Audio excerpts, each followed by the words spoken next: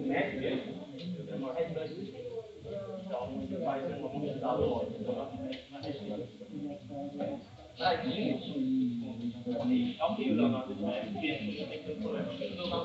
tem alguém aí do lado de vocês? Não, coisas Essa mesa que não conta, eu acho. Putz, é Não, não, mas é. Possivelmente não é uma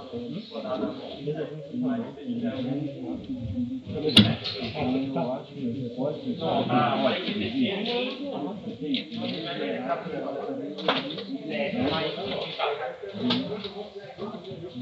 Essa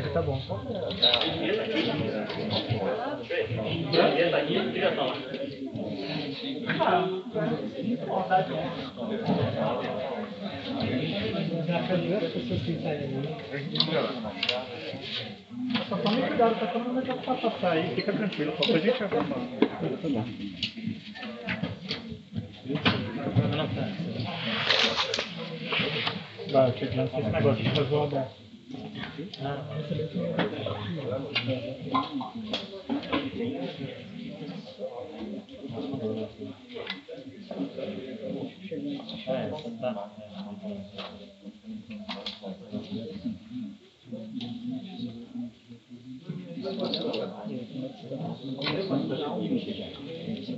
É, tá.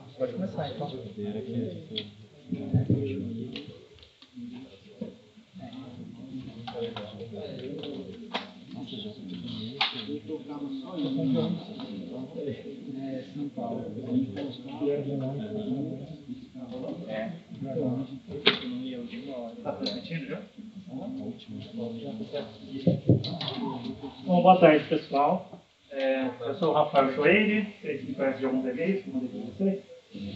Bem-vindos à Escola de Verão da Maratona de Programação 2023. Muito feliz de ter todos vocês aqui depois dessa pandemia, desde que a gente não tivesse escola presencial, desde 2020. Né? Então, gostaria de começar agradecendo a SBC, que é quem ajuda a gente toda a organização do evento, a Instituto de Computação e a Unicamp, que cede espaço para a gente, né? e os nossos vários patrocinadores, que são os que permitem que a gente faça esse evento, os custos que a gente tem. Então, esse ano, como patrocinadores ouro, a gente tem a VTEC, a Stone e a Motorola junto com o Eldorado. Como patrocinador prata, a gente tem o Rei do Pitaco. E como pa- patrocinador bronze, a gente tem a Lura, a Profusion e a Via Consulting. Eh, esse ano também a gente criou um programa para financiar a vinda de alunas para a nossa escola de verão. Então, a Vetex, a Stone, Motorola e Eldorado, eh, cada uma delas pagaram para uma aluna vir para a escola de verão. Rei do Pitaco pagou para cinco alunas virem para a escola de verão. E a Lura e a Via Consulting, cada um pagaram duas alunas. Né? Então, significa pagar a passagem, uma ajuda de custo, para que essas alunas pudessem vir para a escola de verão. Então, muito obrigado a todos os patrocinadores. Falar um pouquinho sobre a nossa participação de alunos na escola. Então, esse gráfico, gráfico começa lá em 2012. A gente tinha uma escola bem menor naquela época. Então, foi variando um pouquinho. A gente tinha só uma turma, que seria hoje a turma World Final. Né? Em 2019, a gente decidiu abrir uma segunda turma, porque a gente sabia que tinha demanda para isso entre os nossos alunos. Então, em 2019, os nossos números aumentaram bastante. Né? Em azul, você consegue ver quantos finalistas mundiais a gente tem entre alunos da escola. Então, sempre por volta de 25 a 30 finalistas mundiais, mas também muitos outros alunos que vêm aqui para aprender todo ano. 2022 foi nosso pico, a gente estava no online, então dava para aceitar mais alunos, mas infelizmente a gente tem uma limitação física, acho que vocês conseguem ver aqui que a gente está até um pouco apertado no, no auditório. Inclusive o pessoal que está aí no meio, depois se vocês quiserem puxar as cadeiras e sentar um pouco mais para cá para poder ver a lousa, fiquem à vontade, tá? É, e aqui está a gente em 2023, 25 finalistas mundiais, e a gente tem 191 alunos no total, dividido nas duas turmas. De onde são esses alunos? Ah, de todo o Brasil. Então a gente tem pessoal do sul aqui, sudeste,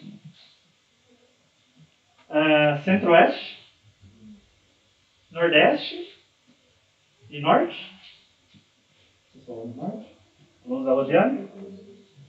Mandei um abraço para Certo? Mas a gente também tem alunos na outra turma, que é uma turma ensinada em inglês, da Argentina, Chile, Colômbia, México e Peru. Sobre participação feminina. Em 2019 a gente tinha oito alunas, mesmo tendo duas turmas. Tá? Em 2020 a gente criou um programa chamado Woman in SPC, né, Mulheres na Maratona, e a gente decidiu que a gente ia financiar algumas alunas para virem para a escola, né, é, para aumentar a participação feminina na escola e na maratona de programação como um todo. Então, em 2020, a gente já teve um número muito maior de alunas. Né, a gente teve 13 alunas que não foram financiadas pela escola, vieram em dinheiro próprio, e 15 alunas que a escola conseguiu financiar.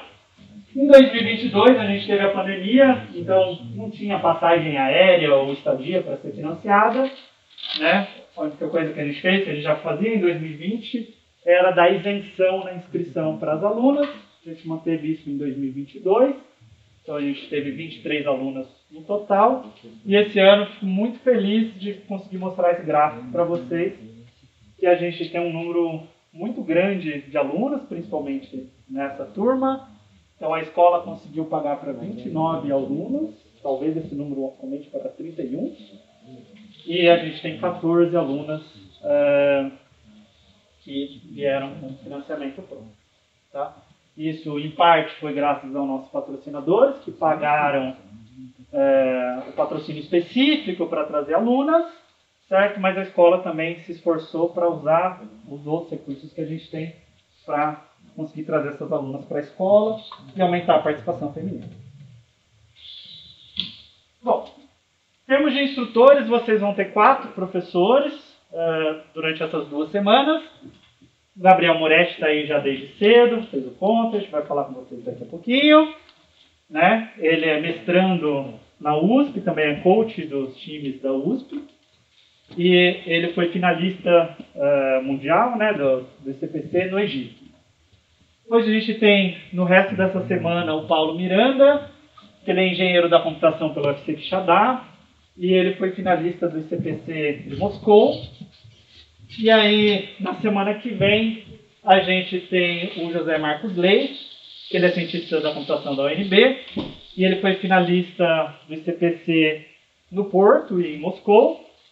E por fim, a gente tem a professora Cláudia Justel, que ela é doutora em engenharia de computação lá na COP, da UFRJ, e ela é professora é, e coach é, do Instituto Militar de Engenharia. Tá? Então a gente tem quatro professores muito bons aí para vocês, para ensinar coisas muito legais para vocês nessas duas semanas. Como vai ser a programação para vocês?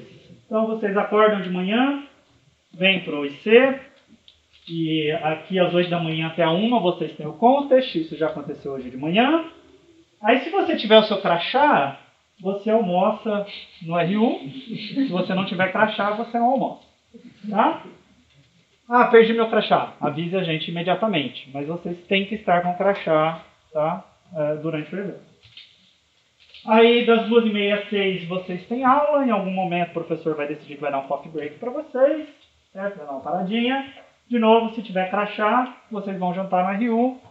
Certo? Dorme e repete. Tá? Vocês vão ver que são duas semanas bem intensas de escola, mas isso que é a graça da escola, é essa imersão na maratona por tanto tempo, fazer um contest todo dia. Tá? Isso é, todos os dias, exceto quinta e domingo. Quinta é dia do patrocinador, domingo é um dia de folga para vocês. Pelo menos o próximo e o outro, provavelmente muitos de vocês vão estar voltando para suas casas.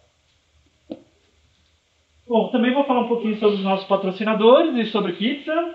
Quinta-feira, agora, a gente tem uma palestra do Rei do Pitaco, às 10 da manhã.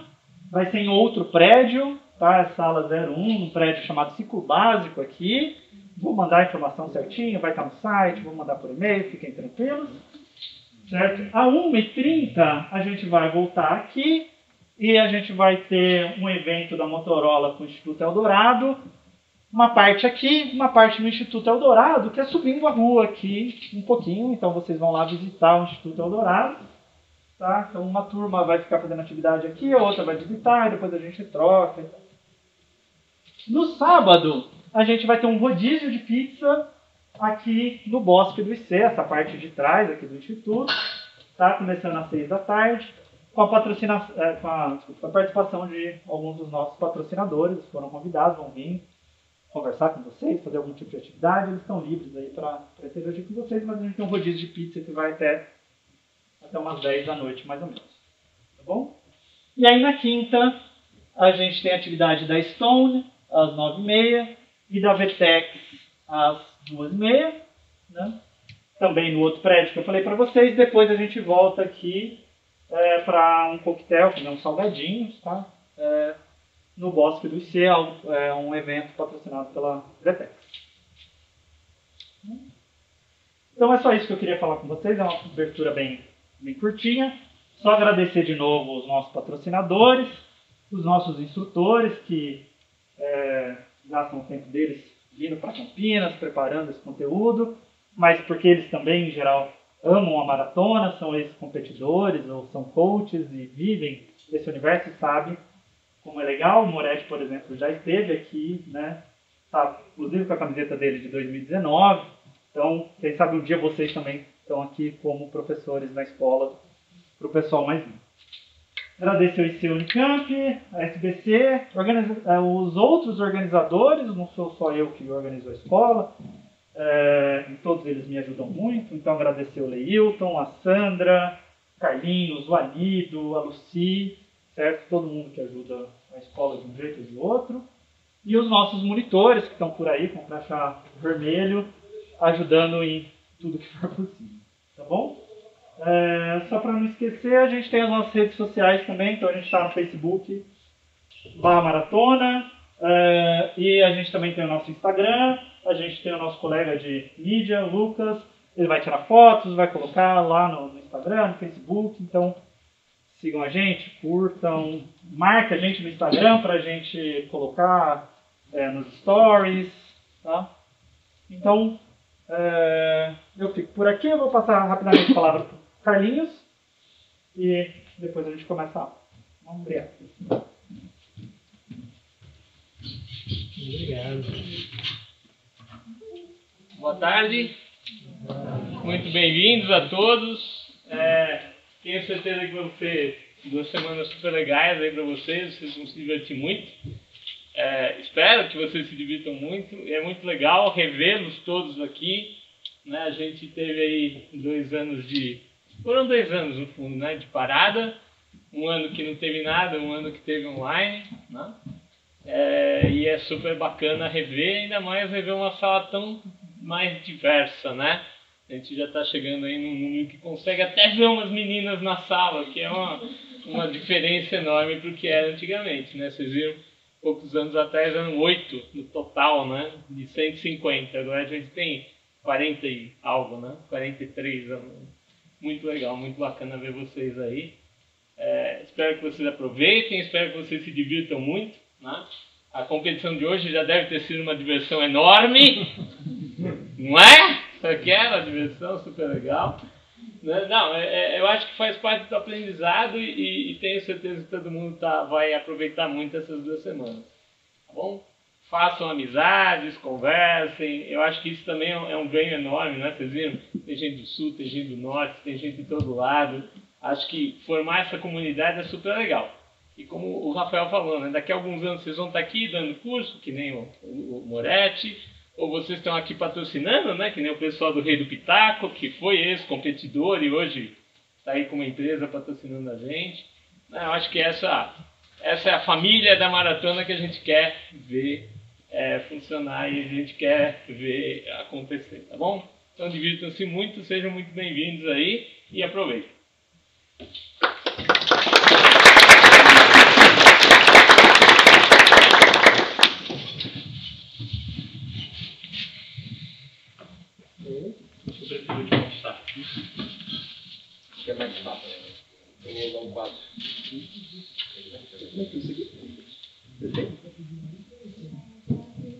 É panteada, assim? Nunca viu É? É? Dá pra me ver? da Madonna? É uma... Não. Agora tá? Opa!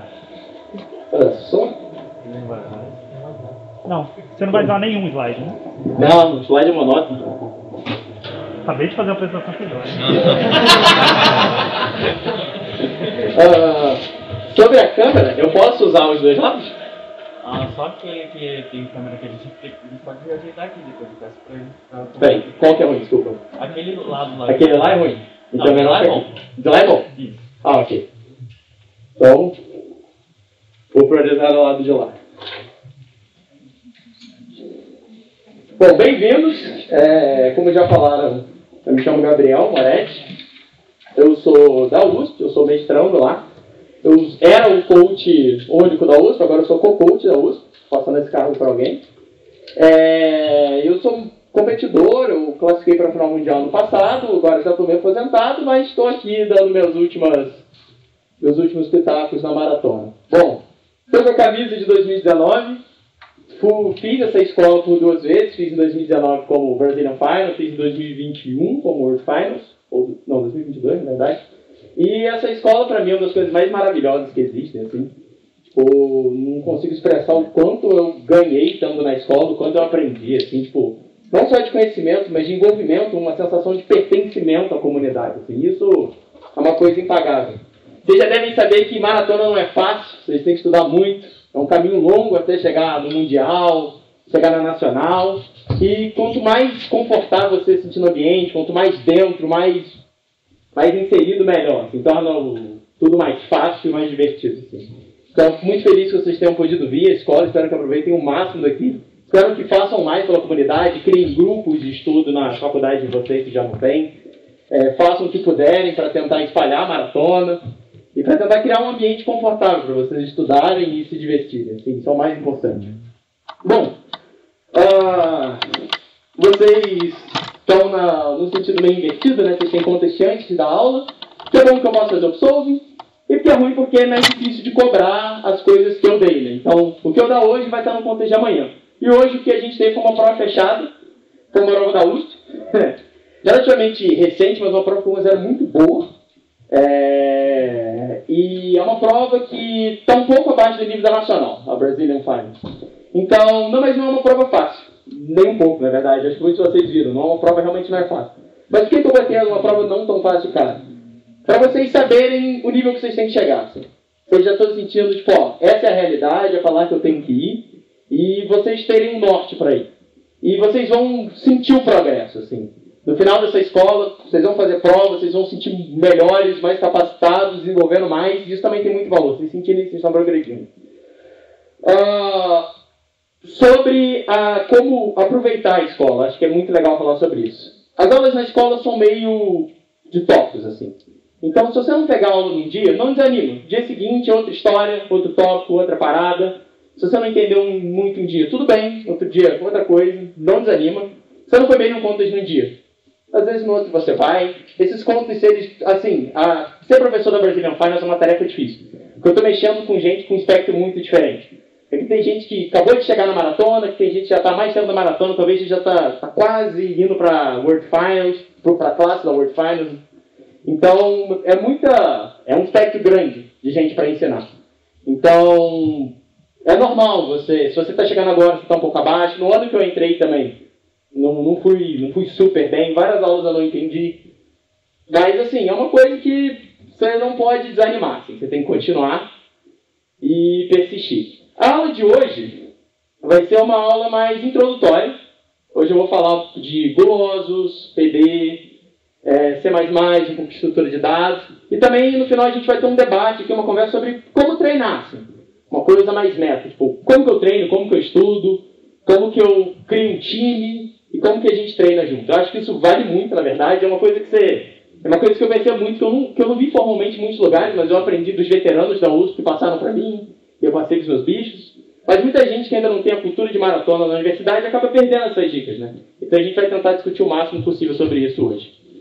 Bom, ah, começando, acho que é uma coisa que a gente tem que conversar, é linguagem de programação. Talvez muita gente esteja chegando aqui com Python, Java e várias outras coisas. Mas uma coisa que eu tenho que falar para vocês, é uma verdade difícil, mas eu vou defendê-la.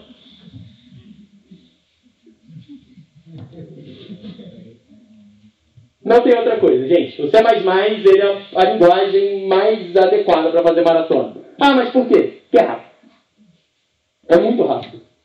E ele tem muitos recursos, assim. A maior parte das pessoas que faz maratona, tira aí da minha cabeça, mas deve estar certo, mais mais. Por exemplo, hoje em dia eu certo problemas. Quando eu certo problema, eu penso muito mais em C++ do que em Python. Eu não sou o maior entendedor de Python do mundo. Na verdade, sei muito pouco. Então, saber o C++ é bem importante. Ah, mas Python é inútil? Não, Python é muito útil. Tem questões que Python é em C++ é útil. É normal também. Cada linguagem tem sua força. Java é inútil? Não. Tem questões que Java é bom também. Mas o, o all-rounder, aquilo que você tem que ter em mente, é o C++. Ah, eu sei C. Então você dá um passo do C++, mas C não dá. Falta muito recurso em C. Por exemplo, tinha questão hoje que vocês precisariam, sei lá, de uma árvore binária. O C++ tem isso codado nela, que é o 7. Você não tem. O C++ é muito mais fácil de mexer. Então, assim, é, eu não vou ensinar C++ hoje. Vou fazer alguns comentários, vou mostrar alguns recursos que o C++ tem, vou lembrar vocês é, das coisas que o C++ tem a oferecer. Mas, assim, tentem, para quem sabe ser, ir para C++ é um pulo. De verdade, vocês vão vocês vão estar tá passando por um milagre na vida de vocês, é muito melhor de mexer. Mas para quem está fazendo, só sabe Python e ainda não, não pegou o C++ ou uma linguagem mais robusta, eu recomendo tentar aprender e, assim, tentar fazer mais, da, praticar problema com C++. Verdadeiramente vale muito a pena. O Python, mais para frente, quando vocês forem pegar problemas mais apertados, mais exigentes, capaz do Python, vocês têm muita dificuldade de passar problema em Python. Talvez muitos aqui conheçam CodeForce e treinam CodeForce. CodeForce tem o PyPy, que é um compilador bem eficiente de Python. A SVC não tem isso, então o Python acaba sendo bem mais denso. Tem uma correção de tempo, mas nada garante que ela é perfeita e às vezes, tipo, para você passar um problema em Python, você ter que fazer uma... escovar muito mais bits do que você teria que fazer em C++, entendeu? Então, vale a pena você estar tá na, na linguagem que todo mundo está mexendo. Além da velocidade e ser a linguagem que. Talvez eu tirar Esse, a linguagem aí que os autores talvez pensem as questões. Qual é a principal vantagem de saber C++? É uma coisa chamada ST. É, todo mundo consegue ver? Que é Standard Template Library. O que é essa SPL? É um conjunto de recursos que já estão implementados na linguagem. Então você só precisa usar. Por exemplo, se tem um problema que precisa de uma pilha. Não sei se teria que simular a pilha. Você já tem uma pilha quadrada. Mas vai ser usado que uma pilha, uma árvore binária. Você precisa de. Precisa indexar valores por strings, por exemplo. Você quer relacionar uma string a um número. Você tem que fazer uma árvore binária, cada nó a chave do nó é string, o valor é o valor do nó. E aí, você tem, vai codar uma árvore binária no meio da prova? Vai abrir lá? Vai, usar ponteiro? Não. O C++ tem isso para você, chama map. Vou dar uma passada pelos recursos da STL. É, como que essa aula seria dada normalmente, né? Eu estaria com o PC codando e vocês vendo. Mas como eu que a maioria já sabe C++, aqui eu estou mais fazendo um... Um, lembrando vocês que esses recursos existem e estou fazendo propaganda para quem usa Python. Então, é para aguçar a curiosidade de quem usa Python e para dar uma lembrada em quem, em quem já sabe ser, mas mais vai esquecer um pouco. A primeira coisa é o vector. O que é o vector? Nome chique, né? Vector. Na verdade, é um que a gente chama de vetor dinâmico. É um vetor que eu posso crescer, diminuir. Então, por exemplo, é, eu tenho um elemento, é uma lista. Para quem sabe Python, é a lista. Um vetor, como é que eu declaro ele em C++? É, vector, o tipo do elemento que está no vetor, vamos botar int, e aí o vetor, v. Se eu quiser adicionar um elemento no vector, no final, posso ver ponto. É um objeto, né, então a gente vai usar é a notação de orientação a objeto. Tá, tá saindo bem o áudio aí? É tem hora que parece que tá mais alto. Não sei, melhorou? Não, tá saindo mais alto. Ok. Isso aqui é para botar no final, se eu quiser acrescentar. Não, agora tá estourando. Era assim. Se eu quiser botar um elemento no final, quero botar um número x no final. Essa é a sintaxe. Se eu quiser tirar, ele é dinâmico. Eu posso botar e posso tirar. V, ponto. Pop. Back. Agora, como eu estou tirando um elemento, eu não preciso passar ele. Eu tiro um elemento do final. Uh, e, basicamente, é isso aqui que vocês vão usar do vector. Você pode botar no final e você pode tirar do final. E é um vetor. Então, se eu quiser acessar o elemento n, sintaxe igual a de C. Tudo bem? Se eu quiser acessar o último elemento, v.back. Se eu quiser o tamanho, v.size. Tudo bem? Então aqui você já vê que ah, tem, tem uma questão que é dado n números, aí dado um n, uma lista de números, faço tal coisa. Você lê o n, declara o, o vector, faz um laço para ler, dá um pushback e você vai ter o vetor bonitinho. É, então o vector é essa estrutura que é bem útil e acho que todo mundo usa, no que usa C++. Você pode usar vetor estático também, não, não tem muita diferença, mas o vector ele é bem, bem útil. Agora, o que que está... O, o que que o vector faz? Né? Ele está associando basicamente um vector, vou fazer uma anotação engraçada aqui, mas ele está associando, basicamente, está associando um número natural 0, 1, vou dizer que 0 é natural aqui, sem, sem conflito. 0, 1, 2, 3, até um, o certo tamanho dele, a um tipo. Certo? É o índice do vetor que está associando a um tipo que eu declarei aqui. Tudo bem? E por ser esse tipo de indexação, é, eu posso fazer esses acessos aleatórios, quando eu digo acesso aleatório, é acesso de elemento, em O de 1. Tudo bem? Eu posso só acessar o elemento na memória, colocar no final é O de 1 também, amortizado, na verdade, e tirar no final também é O de 1 amortizado. Quando eu digo amortizado, não sei se vocês já ouviram essa palavra antes, é, é um... É uma classificação de complexidade, não é uma classificação de complexidade, mas é... Basicamente, quando eu digo que eu tenho uma complexidade amortizada, quer dizer que em algum certo momento eu posso acabar pagando muito caro por uma operação. Mas quando eu fizer essa operação várias vezes, ela vai se pagando. Eu faço um esforço inicial grande para fazer uma operação, mas quando eu vou repetindo essa operação várias vezes, ela vai começando a ficar barata, barata, barata, até que vale a pena, entendeu? É, seria a mesma coisa que, sei lá, tem que levar uma pilha de livros de um lugar para o outro. Ah, alguém, eu posso fazer um esforço grande de trazer uma pilha bem pesada até o meio do caminho e depois ir levando um livro de cada vez. Eu fazendo um esforço muito grande no início, mas depois se paga. Às vezes é ruim, porque seria mais ou menos a mesma coisa, falando em física. Mas é, vocês vão ver isso acontecendo mais pra frente na escola. Então, tudo isso aqui é O de 1. Ver o final de 1, pegar o tamanho O de 1. Então, o vector ele é bem rápido, mas ele tem essa limitação que eu só consigo associar inteiros, que é o índice dos vetores, ao tipo, certo? E aí a gente vai para uma... A gente pode ir para uma estrutura um pouco mais... Vou botar isso aqui. O V vai ser de dos naturais ao. A gente já pode ir para uma estrutura um pouco mais forte do C++. Quando eu digo forte, ela vai fazer coisas mais fortes, mas ela também vai ter que pagar por ela, certo? Que é o map. O map, ele você consegue fazer uma coisa um pouco mais legal. Você vai declarar o map assim. Uh, map. Aqui, sei lá. Vou botar de forma genérica. Tipo 1, tipo 2. Isso aqui, ó, é.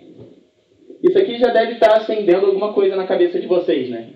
Se aqui eu só boto um tipo e eu associo um tipo fixo a outro, aqui eu estou botando dois, quer dizer que eu vou ter que associar entre eles, né? Então, na verdade, o map, M, ele vai associar chaves do tipo 1 tá?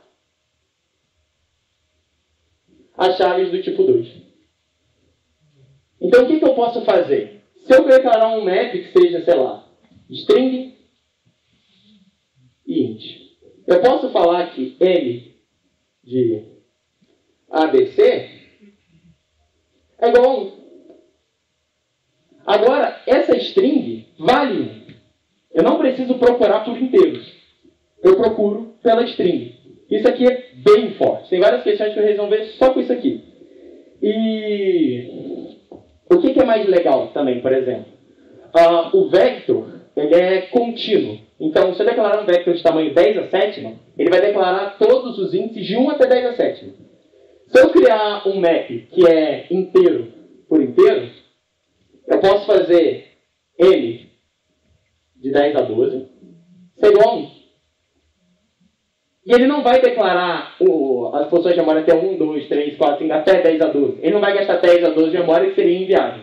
Não teria, não teria como acessar a posição 10 a 12 de vetor, porque seu computador com certeza não tem memória para isso.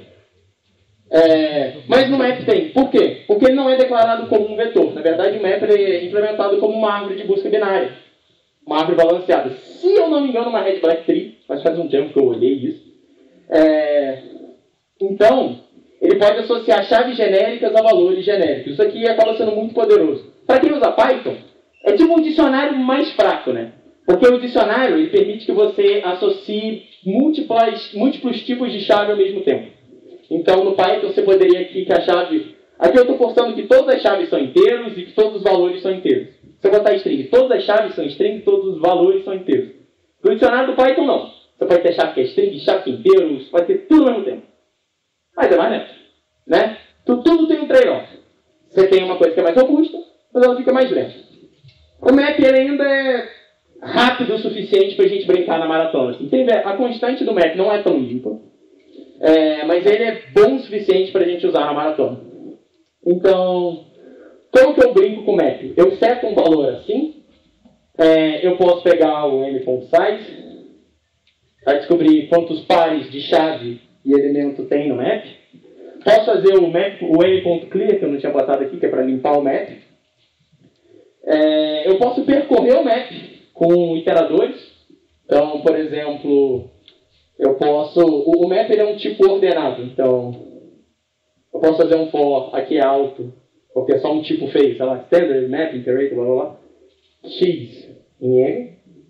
E aí isso aqui vai ser um, um pair, que vai ser o pair, o pair.first vai ser a chave, o pair.second vai ser o valor da chave. E aqui eu vou estar percorrendo ele. É, e, e basicamente isso, assim. Uma coisa que vocês têm que tomar cuidado com o Mac, que é muito importante, quando. Eu sei que se comporta bem com o inteiro. É, vocês, vocês têm que. Se vocês acessarem um valor do map sem setar ele, por exemplo, vocês vão fazer um. Vamos dizer que é um tipo genérico para inteiro. Então, vamos fazer um, um map do, desse elemento. É, e vocês vão acessar ele quando o tipo inteiro. Ele vai retornar zero. Ele vai falar que o, zero, tipo, ah, você acessou, mas você não acessou ainda, então eu vou botar zero. Só que quando você acessa, você cria um elemento. Tem problema, isso já aconteceu comigo uma vez. Eu acessava o map para descobrir se o elemento estava lá, via que não estava e continuava. Só que ele estava criando um monte de elemento no map, e no final o map ficava pesadão e dava TR. Então tome cuidado acessando o elemento de map. Uh, o, a forma correta de saber se um elemento está lá é fazer um, um map.find é, o elemento, e vocês vão ver ser diferente. Ah, desculpa, não é map, né? Estou chamando de m. m.find, vocês vão descobrir ser diferente de m.end. Normalmente, em C++, quando você faz algum tipo de busca e ele não acha o elemento que você quer, ele vai te retornar o end. O que é esse end? É um iterador. Iterador é tipo um ponteiro com esteroides, C++. Então, você não acha o elemento, ele vai te retornar o iterador para o final. Tudo bem? Então, se você quer achar um elemento de ah, quero saber, ah, eu já setei essa chave, sem criar elemento, você tem que fazer um map com find. Tudo bem? Tranquilos com o map? Vai ter. Hoje tinha exercício que dava para resolver com o map.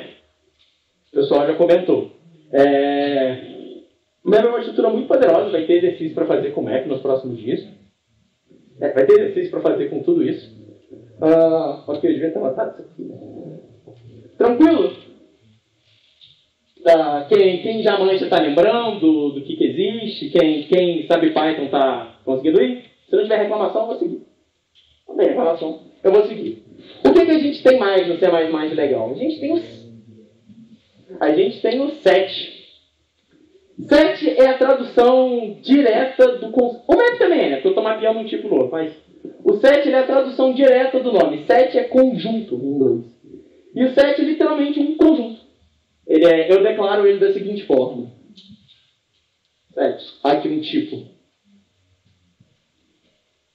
Eu chamo, não sei porquê, eu sempre faço set com quê. Já vi isso em outros lugares também. É, e ele, o set, você pode botar elementos nele, mas conjunto em matemática tem ordem. Por exemplo, em matemática, 1, 2 é igual a 2, 1? É, né? Conjunto não tem ordem. O que tem ordem é tupla. Então,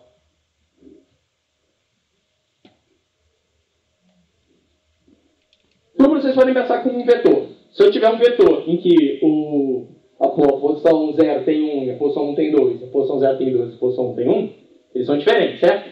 Conjuntos não, não tem posição. Então, você já deve esperar que se o set do C++, ele é uma tradução quase direta do conceito matemático. E no conceito matemático, o set não tem ordem, o conjunto não tem ordem, o set também não vai ter ordem. Ah, mas o que é ter ordem nesse caso? Não existe isso aqui. Mas eu tenho, eu tenho vermelho? Não tem. Ok. Uh, vocês não podem acessar um, o xésimo elemento. Vocês não podem acessar o primeiro, segundo, terceiro, quarto elemento. Não existe. Os elementos são guardados lá, mas você não sabe em que ordem. Uh, mas isso não quer dizer que ele é inútil. Na verdade, ele é muito útil. Porque o que, que também vale em teoria de conjuntos? Isso aqui não rola. Não tem elemento repetido em conjunto. Então, se você tentar. Isso aqui não é um conjunto. Claro que você pode definir o que você quiser em matemática. Mas se você for para uma coisa padrão, isso aqui não existe. Na verdade, o correto seria isso aqui. Não se permite repetição. Então, o que, que o set faz? Se você tenta botar dois elementos iguais no set, ele apaga a cópia. Ele só deixa um dos elementos. Como é que eu boto um elemento no set? É q.insert. X. Isso aqui coloca um elemento no set. É, ah, é, gente, nossa, estou maluco aqui, eu esqueci de falar uma coisa muito importante. Uh, o map é uma, é uma árvore de busca balanceada, certo? Então, essas operações aqui, elas não são mais odd 1, igual era no vetor. É, apesar de eu ter uma estrutura mais poderosa, eu também tenho que pagar por ela. Acessar, setar valor, apagar valor, esse tipo de coisa, isso é tudo osão de log. Ah, o que é osão? Já vou cobrir. Osão é uma. É, notação osão é uma forma de tentar expressar, teoricamente, de forma teórica mesmo, o número de operações que um computador vai ter que fazer para realizar aquela tarefa. Tem operações que são simples, somar dois números é muito simples. Chama N números. São várias operações simples em sequências. Então, claramente é mais complicado somar os números que só falar um número só. A gente usa essa notação de complexidade para dar uma certa, um, um, limitante no custo de uma certa operação. Eu vou explicar um pouquinho mais para frente. Então, o size, na verdade, é de uma, tipo, as operações com match são log. Elas custam mais, mas elas são mais poderosas. E a mesma coisa para o set. O insert, ele também é usão de log, N. Sendo N, esses N's aqui, eles são o tamanho do o tamanho da estrutura. O número de elementos da estrutura. Tudo bem? Eu também posso apagar um elemento. Uh, eu posso eu posso achar o maior, o primeiro elemento que não se compara menor que uma certa chave. Então, isso aqui seria o q.lower underline bound x. O que isso aqui retorna? Retorna o primeiro elemento. Na verdade, retorna um iterador. É, que não é menor que x, tudo bem? E se não existe nenhum, ele vai retornar o quê? o iterador final, que é end. Tudo bem? O, por padrão, o, o, o set ele vai ordenar as coisas do menor para o maior. Então, como é que você acessa? Eu disse que vocês não podem acessar elementos aleatórios do set, mas você pode acessar o primeiro último, por exemplo. O que é bem conveniente, às vezes eu só realmente só quer o primeiro. Você está você quer uma, você tá com uma lista de objetos, aí eu quero achar o mais barato dessa lista agora. Por exemplo, o algoritmo de Dijkstra, que vocês vão ver um pouquinho mais para frente nesse curso ainda, que é o algoritmo de caminhos mínimos em graus. O algoritmo de Dijkstra, a todo momento, ele tem uma coleção de objetos e ele achar o mais barato dessa coleção. Dá para implementar ele com set. Como é que você acha o, o primeiro, o elemento mais barato do set? Você dá q.begin. Só que o q.begin é um iterador, isso é um ponteiro. Para quem já sabe C, sabe que não é o elemento isso aqui. Isso aqui, você é engraçado. Às vezes, em vez de guardar um elemento, ele guarda um cara que está apontando o elemento. Uma lógica curiosa, mas funciona muito bem. Então, como é que você faz para acessar o elemento? Você bota um asterisco aqui na frente. Isso aqui diz, acesse o elemento que o q.begin aponta. Tudo bem? Então, você aqui acessa o primeiro elemento. Acessa o primeiro elemento. Tudo bem? E se eu quiser apagar o primeiro elemento depois de acessar ele, como vai ser o caso muitas vezes? Eu posso dar um q.erase, q.begin.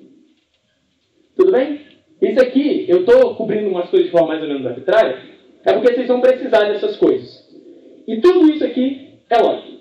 Esse lower bound também é log, porque ele faz uma coisinha curiosa. Alguém sabe o que é? Talvez mundo já sabe. Busca binária. Todo mundo sabe que busca binária, já passou por isso? Maioria falando sim, mas vai ter aula de busca binária, busca binária é resposta, quem vai dar o Paulo, se eu não me engano, essa é uma aula muito boa, uma aula muito bom. É, e busca binária é de longe uma das coisas mais bonitas da computação. Acho que é vocês vão gostar muito. Então ele usa busca binária para achar esse elemento, então ele faz de forma rápida. Você também pode percorrer o set, igual eu fiz com o Map, você dá um for, iterate, ele vai andando. Tudo bem? Para achar o maior elemento, em vez de begin aqui, vocês vão botar um R. R begin. Só pensar em reverso. Tudo bem? Tranquilos? Tá bom, o que eu tenho que cobrir mais? Ah, é. O, o, que, o que tem também, como eu disse, o, o, o, o set ele não permite repetição. Então, se eu fizer, sei lá, um q. Ponto, q. Ponto insert 4. Depois, q. Ponto insert 4. Se eu der um q. Ponto size, tá? ele vai retornar um. Ele falou, só tem um elemento. Você botou dois caras iguais e exclui o outro. Ah, mas eu quero ter cópia de elemento, porque sim. Aí você pode usar o multiset. O multiset, ele funciona muito parecido com o, set, apesar de que ele é, um, ele é tricky com, com complexidade de operação às vezes. Tem umas coisas dele que são lineares. Se eu não me engano, apagar elemento é linear, uma... Não lê... Tem uma coisa que dele é linear, eu acho que é apagar o, o set, ou uma coisa assim, o multiset. Mas basicamente o multiset ele é um set que permite repetição de elementos. Tudo bem? Uh, então você pode fazer quase todo, basicamente todas as operações que você faz no set. Qual é a coisa mais complicada nele? Se você fizer isso aqui, dá certo. Você, eu quero apagar o elemento que está nesse iterador. Ele faz direito. Se você fizer isso aqui, ah, eu quero apagar o elemento com valor x, e você tiver K elementos com valor x, ele apaga todos. Então é uma coisa que você tem que tomar cuidado com muito set, tudo bem? Sempre passa, a menos que você realmente queira que ele apague todas as ocorrências do valor x, você tem que passar um, um iterador para o elemento de valor x. Ah, como que eu faço isso? Você só tem que achar um elemento x. Então, elemento x. Né? Então você pode dar um q, 27, 27. É, tem acho que tem int. Como é que você apaga uma ocorrência só de um valor x? Você dá um q.erase, q.find, x. Isso aqui vocês têm que se certificar que o elemento existe. Tudo bem? Porque se ele não existir, eu vou, eu vou dar um q.find, ele não existe, vai retornar um q.end. Vai retornar um ponto end. E o ponto end, na verdade, quando eu tenho uma certa estrutura em C++, Vou exemplificar com um vector. Aqui está o begin. E se o negócio é não vazio, o begin está apontando para o primeiro cara, alguém que existe. O end nunca aponta para alguém que existe. O end aponta sempre para um depois. Então, se a qualquer momento você tentar dar um erase no que.end, o que, que vai acontecer? Você vai tomar aquele segue forte bonito e não vai entender nada. É, então, sempre que vocês fizerem isso, vocês vão ter que botar o if. Ah, if que.find diferente de que.end, ah, então eu posso apagar. Apaga, tudo bem? Tranquilos até agora? Com as estruturas, uma revisãozinha? Ok, deixa eu lembrar se ainda tinha outra estrutura para cobrir. Ah, tem, tem uma outra estrutura que na verdade o, o vai ficar para o Paulo ensinar, então não vou cobrir muito aqui. Que é. Não, na verdade tem umas outras, tem mais dois tipos de estruturas básicas que eu acho que vale a pena cobrir. É, é cobrir. Essas são mais simples, que é a pila e a. a, a, a fila e a pilha. É, a fila é. É a kiwi. Como é que você declara isso? F de fila. E ela funciona, funciona tal qual uma, uma fila mesmo, naquele sentido de first in, first out e tudo mais. Como é que você bota um elemento na fila? F ponto push. Tudo bem? Como é que você pega o primeiro elemento da fila? F ponto front. É front? É ponto front, né? E como é que você apaga? F ponto. Op. Certo? É, e na fila você não pode acessar os elementos. Tudo bem? Não, não tem o, o, o. Também aquele operador de acesso. Não pode? Ah, não, acho que, acho que não pode mesmo. É, e isso aqui vai ser útil para vocês, principalmente se vocês fazerem BFS. Já tem a fila pronta, não precisa simular a fila. Ah, poderia simular a fila com vector, é, mas é, é feio, é estranho, que você vai ter que, tipo, apagar da frente do vector. E apagar da frente do vector é muito caro, é linear. Porque, é, não, não, não comentei o operador erase pro vector, né? Acho que vale sempre a pena contar. Voltando aqui no vector, vamos sair voltando. v.erase é apaga do meio. Vocês já devem ter visto isso em aula de computação. Apagar do meio de vetor é difícil, né? Normalmente você vai ter que copiar uma parte, mexer tudo. E isso vai quebrar completamente o vector. As coisas amortizadas que ele faz. v.erase, uma posição, por exemplo, se eu quisesse apagar o início, o v.begin, isso aqui é linear. Isso aqui é a complexidade, isso aqui é a razão do número de elementos do vetor. Então, ao máximo evitem fazer erase. Se você está tentando fazer muitos arrays no vector, você matou errado o problema. O problema vai ficar quadrático. A menos, é claro, que passe quadrático, normalmente não é o caso da maratona, é, isso aqui não vai funcionar. Tudo bem? Então a gente tem a queue, a fila, e a gente tem a stack, que é a pilha. É... A stack, a stack ela é igual a stack teórica mesmo, o último que entrou, o primeiro a sair, você também não acessa os elementos. A stack é o mais simples possível. Uh, a stack. Também no tipo, vou botar int, VCS. Uh, tem que lembrar, alguém lembra a sintaxe de botar na stack? É stack.push também. É stack.pop, né? Opa. É esse ponto push para botar, certo? Eu tenho um elemento x, aqui coloca um elemento no topo. E esse ponto pop tira um elemento do topo. Isso aqui é só para você ter uma estrutura à mão que é conveniente. A stack é muito fácil de simular com um vector, né? Como é que você faria? Colocar no topo pushback, tirar do topo, olhar o topo back, tirar do topo top back. Então, os primeiros elementos do vector são os mais antigos e os últimos elementos são os que acabaram de ser colocados. Então, a stack é muito fácil de simular com vector.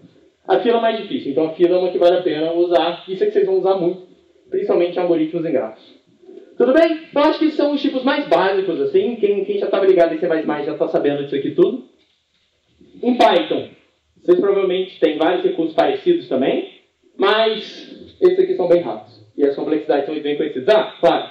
É, isso aqui é O de 1, O de 1, O de 1. Isso aqui também Olha, essas estruturas são muito rápidas. Tudo bem? Tranquilo? Tem uma outra estrutura que não é da STL, que é o que eu falei que é o poder do C, é de uma coisa chamada GDU PBDS, que é uma, uma biblioteca estendida do, do, do, do, GCC super legal, que tem uma estrutura chamada é, te- não, peraí. Order de set. não, não de set, não. Order de set. É, como eu disse, eu não consigo acessar o iésimo elemento no set, né? Com essa estrutura você pode. E a log também. E essa estrutura é ótima, vocês vão matar um tanto de problema pesado só com isso. Mas isso o Paulo vai comentar mais pra frente. É uma das coisas mais.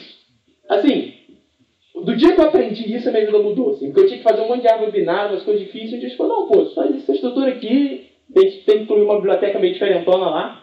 Mas a partir do momento que você faz isso, você já tem uma coisa muito poderosa em mãos. Tudo bem? Todo mundo tranquilo? Então vamos embora. Só. Ah, ah, não, eu, mas eu comecei três horas. Eu falei, tá falando uma hora? Ok. Bom, o, eu tô, esse tempo que eu estou falando aqui, eu estou usando uma notação para falar sobre complexidade, para falar sobre o quanto custa uma operação. Ah, não, essa operação aqui é O de 1, então ela é instantânea. Essa operação aqui é linear, então ela é lenta. Ah, essa operação aqui é log, então ela é. Então ela é rápida, ou razoavelmente rápida, mas o que é esse Ozão? Esse Ozão é uma notação para limitar, para dizer a complexidade de, um, de uma operação. Na verdade, uma notação para dar uma limitação superior enquanto demora uma operação. Na maratona, a gente quer fazer código tem, com três características. O código ele tem que ser rápido, ele tem que estar certo. E, ah, e você tem que fazer ele rápido. Você quer codar ele rápido. Então é muito bom você ter coisas como a STL, que já tem várias coisas prontas para você. Você quer que o seu código seja rápido, você quer que ele esteja certo.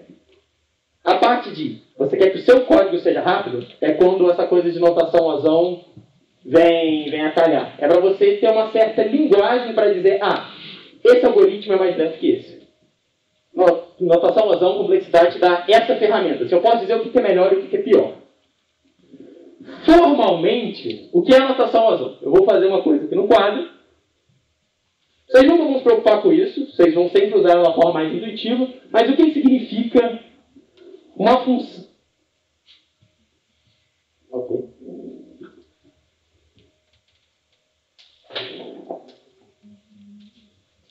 Aí. O que significa uma função g de n ser igual a ozão de uma função f de n? Então, g de n. Ah, o que é essa g de n? G de n é o custo real da operação. Como que eu calculo o custo de operação? Isso é muito difícil. Isso tem a ver com, tipo, o cu, por exemplo, o custo da operação, ao cálculo que o processador faz, soma, subtração, divisão, você tem que distribuir um certo peso para as operações. Isso se traduz de operações de computação para tempo teórico. Isso é uma função real que é meio difícil de estimar. Então a gente usa a notação ozão que limita ela por cima. Mas limita de uma forma muito boa. Mas o que, que significa o ozão? Significa que existe C e um N0, ou seja, existem dois números, tal que G de N é os valores dessa minha função, ou seja, o tempo real que, te, que, demoram para algo acontecer, é limitado por cima, ou seja, não é maior que esse meu C vezes F de N para N maior ou igual que N0. Então, o que isso quer dizer? A partir de um certo ponto, ou seja, a partir de um certo tamanho de entrada, pensa que o N é o tamanho da entrada. Então, para entradas maiores que tanto, existe uma constante, um valor fixo, que se eu pegar o, essa função e multiplicar por essa constante, esse valor aqui é sempre maior do que o tempo que está levando, o número de operações que está levando o seu código. Tudo bem? É, quem já fez introdução à computação, ou talvez alguma aula de complexidade, já deve ter visto isso. É aquele exemplo clássico do. Ah, o linear e o quadrático, né? Só que o, o linear é 1000 vezes n e o quadrático é uma, é uma complexidade limpa. Realmente, a partir de um certo número bem grande, essa função é maior que essa. É, me- é maior que essa. Só que até isso só acontece quando n é maior que 1000. Não muito grande não, né? Quando n é maior que 1000. Se n é menor que 1000, isso aqui é menor que isso. Só que em computação a gente vai falar, ah, isso aqui é pó de n, isso aqui é de n quadrado, isso aqui é menor. Entendeu? Então tem suas falhas. Ah, mas isso vai ser maratona? Não, esse conceito nunca vai ser muito grande em maratona. Porque em maratona a gente quer código rápido. Então, não precisa se preocupar com esse tipo de coisa. Assim. Na teoria, quando você está fazendo pesquisa em computação, às vezes acontece o cara esconder uma constante mil no ODN. Você fica, nossa, deixou um algoritmo ODN para isso? É, mas tem um milhão lá em então, uma torre tem um 2 elevado a 2, elevado a 2, elevado a 2 escondido. Pois é, na teoria é outro negócio. Na maratona, esses absurdos, tem uma constante muito grande, não vai acontecer. Então, na maratona, normalmente, na maior parte das vezes, existem exceções, o algoritmo com a complexidade de razão menor vai ser o mais desejado. Então, a gente vai sempre querer o algoritmo mais rápido. Tudo bem? Isso deve ter, vocês devem ter visto isso hoje em alguns problemas. Tipo, vocês fizeram uma solução, dava time limit exceeded. É, isso pode acontecer porque vocês estavam na ideia certa, só que a implementação de vocês era muito lenta, talvez usando Python, ou com uma constante muito ruim, ou fazendo operações ruins, por exemplo, usando vector contra arrays. É, na verdade, isso afetaria a complexidade, na verdade, mas fazendo operações muito lentas, isso acontece. É, ou porque a complexidade estava errada. Você estava na ideia certa, você matou o problema, você sabe como resolver. Só que precisa de uma, precisa mexer um pouco para ficar mais rápido. Entendeu? Então, complexidade é uma coisa que a gente sempre vai estar tá olhando. Ah, mas como que eu estimo a complexidade de, de, um, de um algoritmo? Então, tem técnicas muito avançadas para isso, tipo o que eu disse, aquela coisa de complexidade amortizada. Complexidade amortizada, você consegue dizer a complexidade de uma operação, só que quando você, se você tentar fazer aquela operação na mão, muitas vezes ele vai demorar muito mais que aquilo. Só que você consegue um argumento para, olha, quando eu fizer isso tantas vezes, vai ser muito bom. Vai amortizar. Estou falando muito caro agora, mas depois amortiza. É, análise por créditos, você tem momentos que fica bem complexo. Mas você tem a forma mais simples. Por exemplo, o for. Vou fazer for como é que é para economizar aqui. Então, vou ter um for aqui de, de i igual a 0 a tn. Quando eu fizer fr, vai ser de partido de 0 a tn, tudo bem? Fazer isso aqui tem que complexidade? O de n, né? Porque se eu aumentar o n, eu, eh, se eu aumentar o n, eu vou aumentar tantas operações quanto a diferença do quanto eu aumentei. Então, cresce linearmente com n. Quer dizer que o n está aqui, o número de operações cresce assim. Tudo bem? Tá. E se eu tiver 2?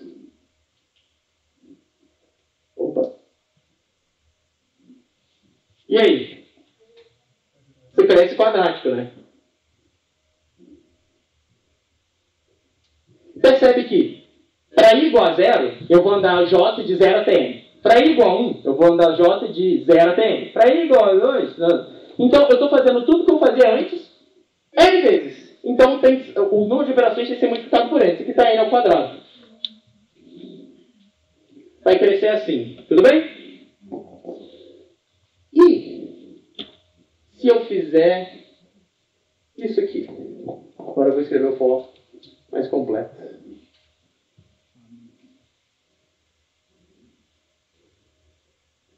Agora eu estou pulando de INI. Então, no primeiro laço eu ando 1, 0, 1, 2, 3, 4. Né? No, é, aqui começando de 1 agora, senão não vai ter sentido. Uh, igual a 1 até. No segundo laço eu vou andar 0, 2, 4, 8. Não, 2, 4, 8, 6, 8. Vocês vão andar 3, 6, 9. Né? Qual é a complexidade disso aqui?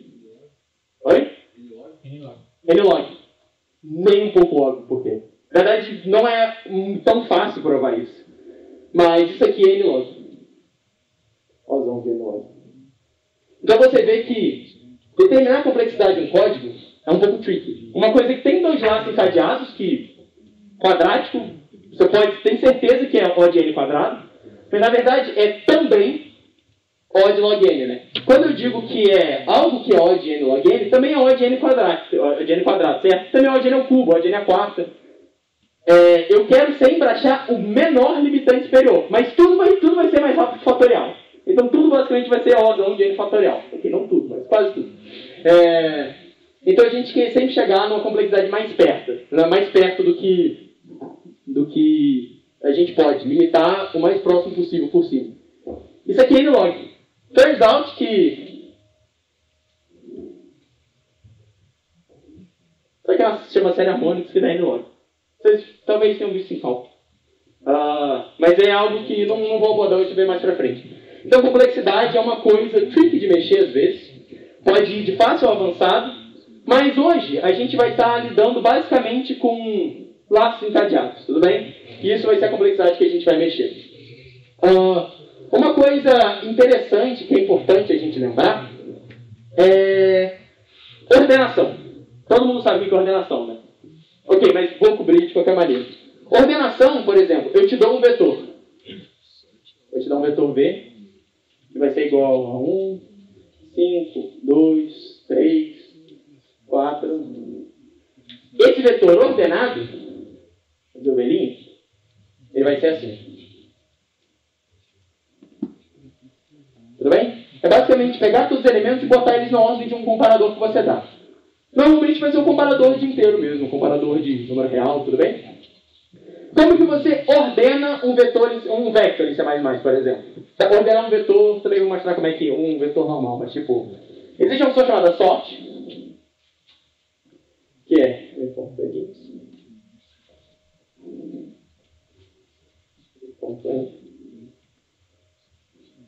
E ela vai pegar, nesse intervalo, você não precisa, se você quiser ordenar só uma parte, não precisa passar tudo, e ela vai ordenar esse vetor para você, tudo bem? Alguém sabe a complexidade dessa função? Não. Só é quadrático. Por incrível que pareça. O jeito de ser sorte, ele na pior das pode ser quadrático. Só que nunca vai acontecer. Isso ser uma das coisas mais bem implementadas do universo. Caso médio, ao extremo, sempre é log. Tem algoritmo de ordenação em log? Tem, mesmo sorte. O C++ usa o quicksort. O GCC, é, o GCC sort, que é, um, é uma loucura. Assim. Todo mundo já deve ter visto aquele sound of sort, né? Uh. Eu amo aquele vídeo. É, ele, o, o, o C++ usa o GCC sort. É, e você ordena assim. Ah, mas eu quero ordenar um array clássico mesmo. Como que eu ordeno? Parecido. Você passa o início do vetor, que é o A, que é um ponteiro para o início, e A mais N, que é o tamanho dele. Aqui eu estou declarando o vetor de tamanho. Isso aqui também ordena. Então você pode ordenar vector assim, ou vetor assim, tudo bem? Isso aqui a gente vai assumir sempre que é N log. Nunca vai acontecer de não ser, mas na teoria não é. é tudo bem? Então, vamos ter a noção de que laços encadeados é N elevado ao número de laços, e coordenação N-log, isso aqui vocês vão ver prova na faculdade, prova, alguém provando para vocês na faculdade de momento. Não vou perder tempo falando sobre isso agora, porque não ajuda muito. Minha sorte ajuda muito, que ensina de vai em conta, mas eu não vou passar sobre isso hoje. Tudo bem? Tranquilo até agora? Então agora a gente vai falar de... Estou pulando alguma coisa? É bom olhar, né? A gente planeja algo, bom não perder o planejamento. Uh...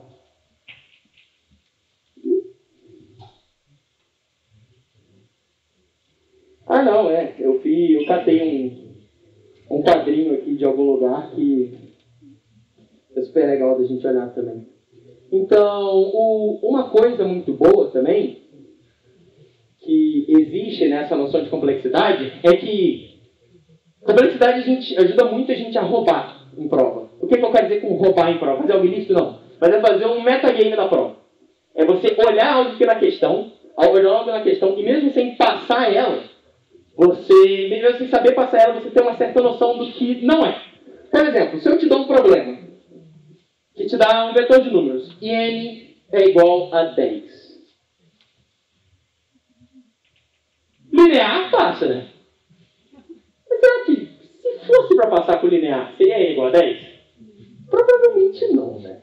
Dificilmente você vai passar um problema que é para a pessoa desenvolver um algoritmo linear e vai passar com n igual a 10. Porque a pessoa pode fazer um exponencial, um fatorial, e vai passar. Então, quando você sabe a complexidade dos, dos algoritmos que você tem na sua biblioteca, quando você tem, quando você tem um conhecimento legal do que está acontecendo, a entrada do problema te mapeia quase diretamente para um conjunto de algoritmos que você sabe. Então, saber o, a eficiência dos algoritmos não só saber tipo, como caixa preta, ou só saber usar, mas a eficiência deles te ajuda a excluir muita coisa de um problema.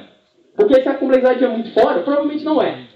Em maratona, quase sempre a gente vai querer, a gente vai tentar estressar vocês ao máximo quando você é autor. Eu já fui autor de questão e eu não, não sempre eu quero a melhor complexidade, mas eu também não vou querer que o negócio que era para ser linear, ou que faça com Nlog, faça com fatorial. Então eu vou jogar isso mais para cima. Então, Claro, podem te enganar com isso, não, não fique, nossa, não. Às vezes é um n igual a mil e era linear mesmo. Já aconteceu. Ah, então, às vezes também eles brincam com essa, com esse metagame que você faz, mas isso te ajuda muito, na verdade. Então, você pode, sem, sem ter resolvido a questão, saber, ah, essa solução aqui não deve ser. Uh, e a gente pode fazer aqui uma tabelinha que ela relaciona mais ou menos o número de operações para o tamanho da entrada para a complexidade da a complexidade do algoritmo que você vai usar, a complexidade da sua solução. Mas isso aqui não é 100%, tem uma diferença aqui, por exemplo, no Code Forces. Eu normalmente usava quando eu fazia, quando estava fazendo mais prova, que um segundo era 10 oitavas operações. Tem gente que usa valores diferentes, para juízes diferentes são valores diferentes. O Boca, os computadores falam Boca tendem a ser muito rápidos. Então, é, um, um, segundo tende a ser muito mais operações. Então, isso é um tipo de coisa que vocês vão relacionar no Armand. Mas, no geral, é, input, notação, razão. Tudo bem? Até 10 faz fatorial. Só tenta todas as permutações. Ah, eu quero descobrir a melhor sequência e essa aqui é uma função que você tem que otimizar. Tenta tudo.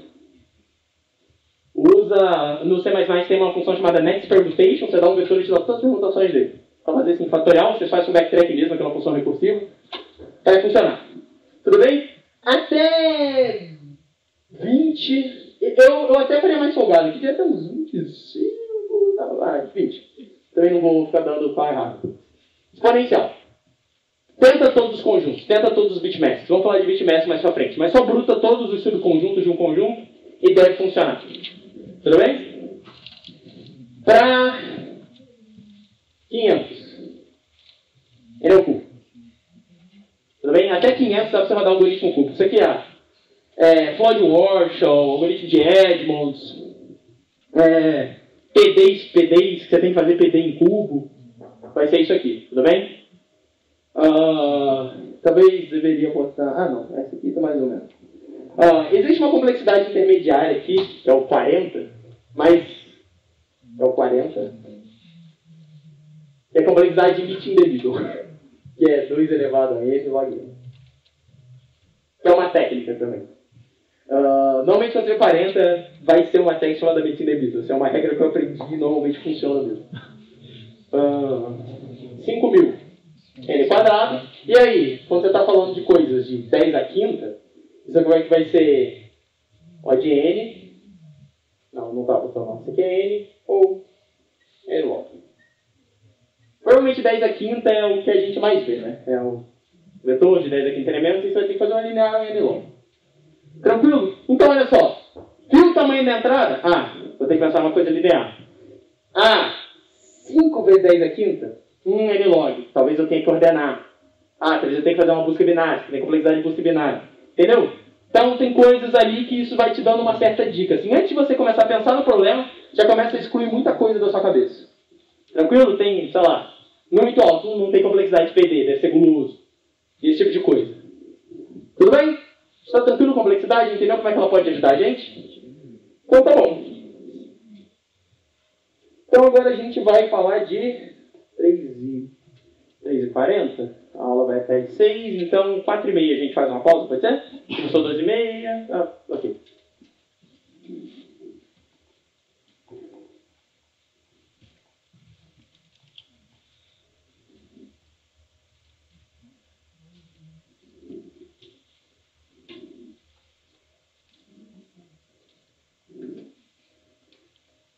Levanta a mão quem já sabe gulosa aí, eu já viu alguma aula sobre.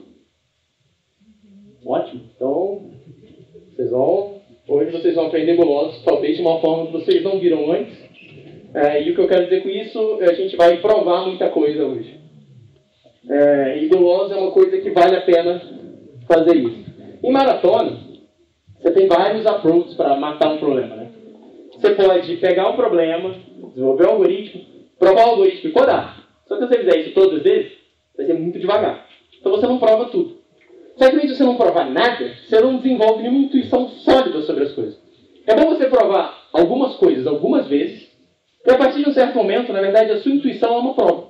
Porque o que está rodando na sua cabeça é, ah, eu vou usar esse argumento para esse algoritmo. Você sabe, ah, vou tentar isso e ver se funciona. Então, muitas vezes em maratona acontece das pessoas só verem uma aula sobre o algoritmo e fazerem alguns exercícios e seguirem em frente. Isso, claro, vai te fazer começar a fazer questão mais rápido, mas isso limita muito também o quanto de questão difícil você pode fazer. É errado só aprender uma coisa e provar? Não. Mas a partir do momento que você está evoluindo, mais pra frente, sempre volta. E tenta provar, e tenta ver como, por que, que aquilo funciona formalmente, assim. Eu vejo muito com fluxo. Talvez algum de vocês já tenha ouvido falar de fluxo. Que a galera só usa o algoritmo como caixa preta, mas não tem ideia de como ele funciona. No início, mas mais pra frente não vai. Em algum momento as coisas ficam difíceis demais para você tipo, não saber direito.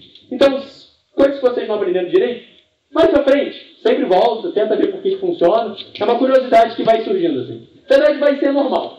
Em algum momento as coisas vão ficar muito difíceis para conhecimento rápido. Aí vocês vão ter que voltar e aprender os básicos. O básico, isso é, sempre falam isso, né? Mas é verdade. O básico bem feito é receita de bolo preparacional. Juro pra vocês. E quase nenhuma vez eu fui pra. Não, nenhuma vez que eu fui pra nacional duas vezes. Nenhuma vez eu, a gente fez nada muito excepcional assim na prova. Um básico bem feito e a gente foi. Um básico bem feito, talvez um ou outro, uma questão de diferencial foi assim. O básico bem feito é tudo. Porque a galera tem básico bem feito. A galera da World Finance tem básico bem feito. Então vocês também têm que ter. Não acelera o processo de aprendizado o máximo possível. Nossa, eu quero aprender que amanhã. Uh! Não faça isso. O básico bem feito é realmente bem importante, é o que vai te levar assim para longe. Papo meio motivacional, né? Guloso! Meu Deus. Tô destruindo as canetas.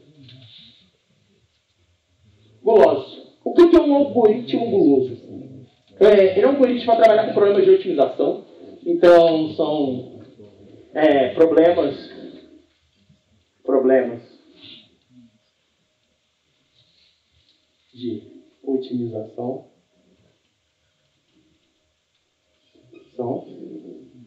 E você vai querer maximizar ou minimizar uma coisa, sujeito a algumas restrições.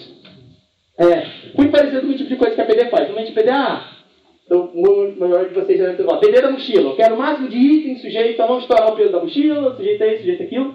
Guloso também vai ser uma coisa parecida, só que o guloso, ele vai ser uma forma eficiente de resolver esses problemas. Que ele vai ser uma forma mais restrita.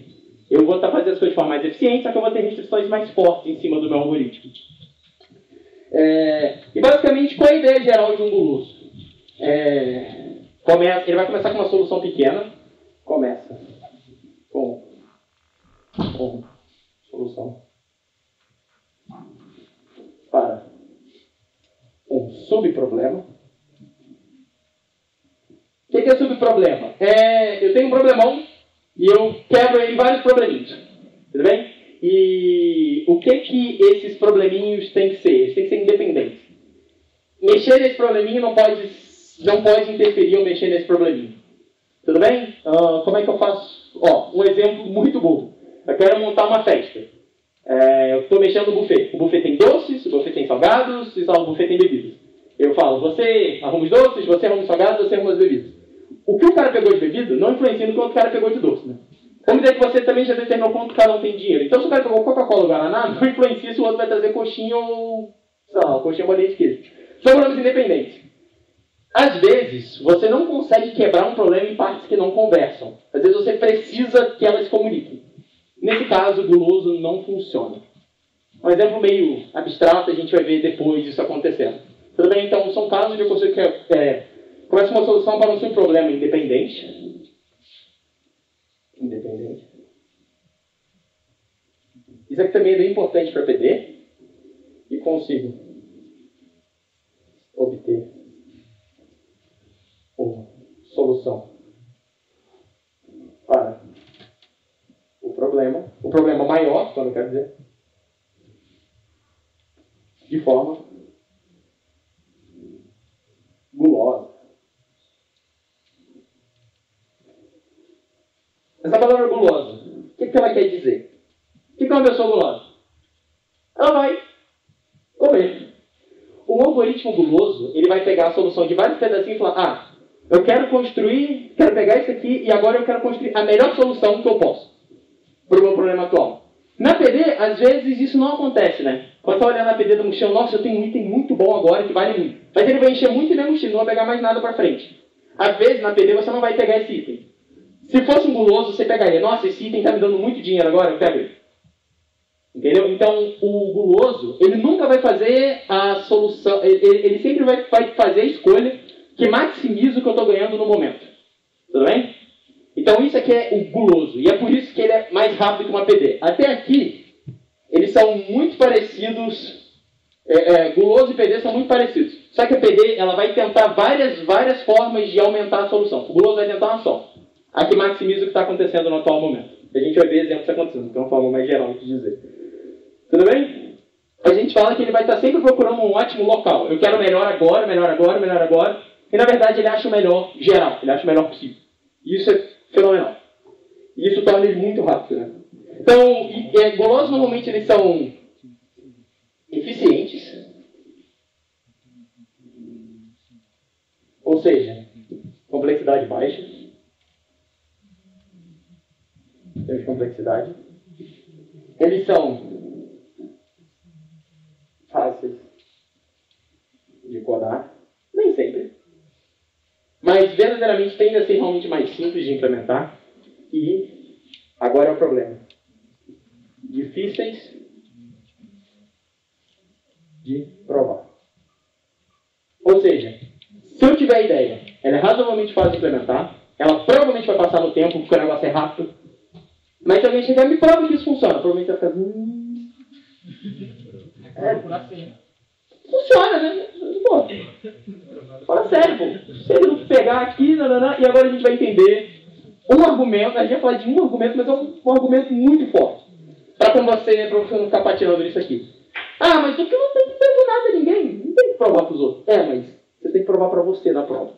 Durante a prova. Se, se você souber um argumento formal, durante a prova, ah, não, isso é um guloso, porque argumento da troca. Que é o que a gente vai ver hoje. Tudo bem? Uma coisa.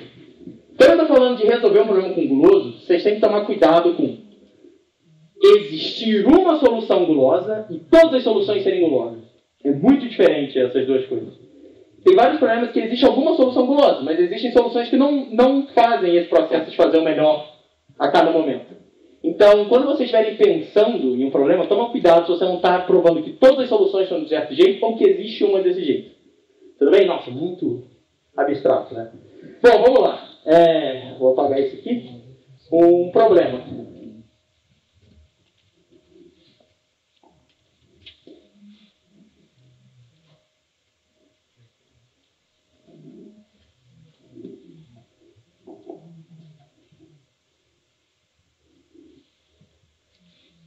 Está escrevendo muito pequeno para aí? Ou está dando fazer legal? Show. Problema. Cobertura de pontos. Provavelmente, muitos. É, é, eu peguei problemas bem conhecidos de propósito. Que o melhor que poderia acontecer para mim aqui é: esse é um problema que vocês sabem resolver, mas vocês nunca viram um argumento formal por trás. Então, o argumento formal vai entrar muito mais fácil na cabeça de vocês. Ah, então na verdade é assim que faz. Eu espero que, tipo, peguei problemas conhecidos bem de propósito mesmo. Porque eu espero que vocês não saibam esse argumento, não, não tenham visto muito formalmente esse argumento, mas já tenham visto esses problemas. Então, a entrada é o quê? Entradas são conjunto de pontos na reta, conjunto de N pontos na reta. É, e um B pertencente aos inteiros positivos, tudo bem? Isso aqui é inteiros estritamente mortos. Tudo bem? Então essa é a entrada. Eu vou te dar vários pontos e eu vou te dar um número. E o que, é que você vai me dar? Qual o objetivo do problema? É cobrir os pontos com intervalos de tamanho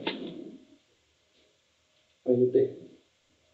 Os pontos com o menor número, com o menor número de intervalo de tamanho d. Então, o que isso quer dizer? Vamos dizer que eu dei aqui a reta, então d igual a 2. Tudo bem? Então eu dei esse ponto aqui. Esse aqui é o ponto 0, esse aqui é o ponto 2, esse aqui é o ponto 5, esse aqui é o 6, esse aqui é o 9. Tudo bem? Então, uma solução é botar um intervalo aqui, tudo bem? Então vai do vai do 0, 0, 1, 0, 2, cobra esses dois. Aí um intervalo aqui, que vai do. Não, desculpa, aqui não vai. Um intervalo aqui que vai do 3 ao 5. Um intervalo aqui que vai do 6 ao 8. Um intervalo que vai do 9 para frente. Tudo bem? Todos os pontos estão cobertos pelos intervalos, né? É, só que claramente não tem sentido, né? Porque eu usei dois intervalos para cobrir esses dois pontos aqui. Isso aqui não, não seria ruim. Eu claramente poderia diminuir a solução fazendo isso aqui. E aqui iria até o 7. Tudo bem? Cobrei o 5, o 6 e o 7. Vou dizer que é fechado nos extremos. Tudo bem? E aqui dá para ver meio claramente que três intervalos é o mínimo mesmo pela distância dos pontos. Entenderam o problema? Sabem resolver? Como é que resolve?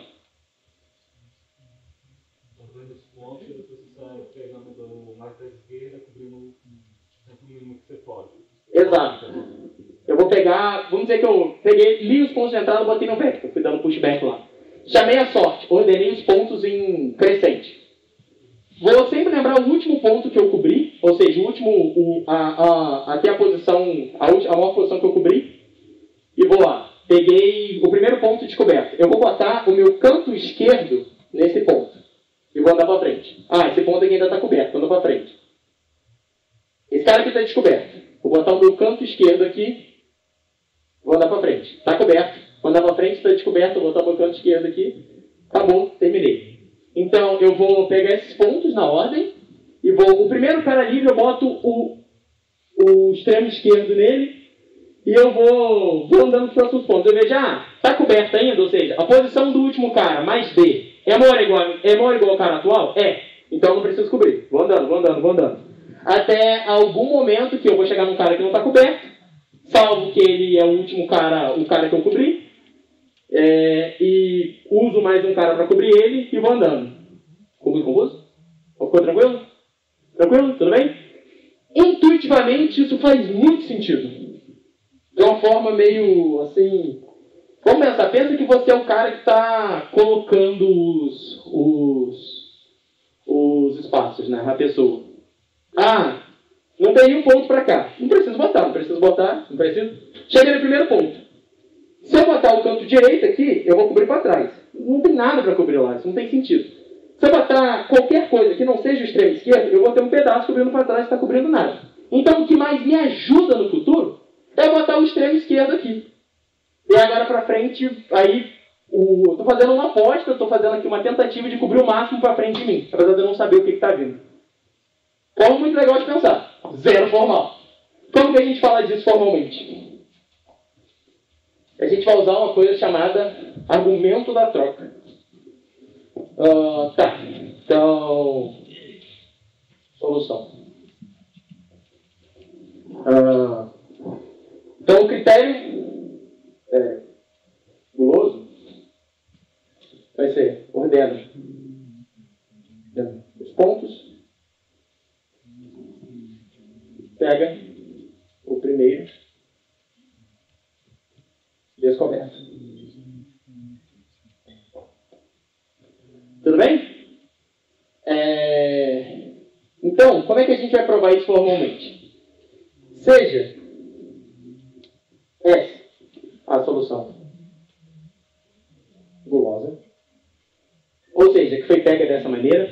Ah, mas você não provou que é uma solução. Claramente é, né? Eu tô, eu tô andando. Eu vi um ponto descoberto, botei um intervalo. Tem como no, no final ter algum, algum ponto descoberto? Não, porque se tivesse algum ponto descoberto, você teria colocado o intervalo em cima, certo? Então, é uma coisa que é meio trivialmente uma solução. Uh, tá, então seja essa a solução gulosa. Uh, gulosa. Suponha que não é ótimo. Tá? Se eu tenho uma solução S gulosa que não é ótima, então existe? S, ótimo. Ou seja, uma solução ótima está aqui.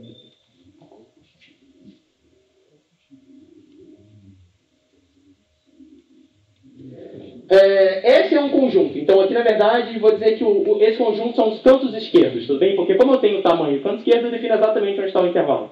Todo mundo tranquilo com essa anotação de conjuntos? Aqui eu estou só guardando onde está o canto esquerdo, mas como eu sei o b também, se eu sei onde começa e sei o tamanho, eu sei o intervalo.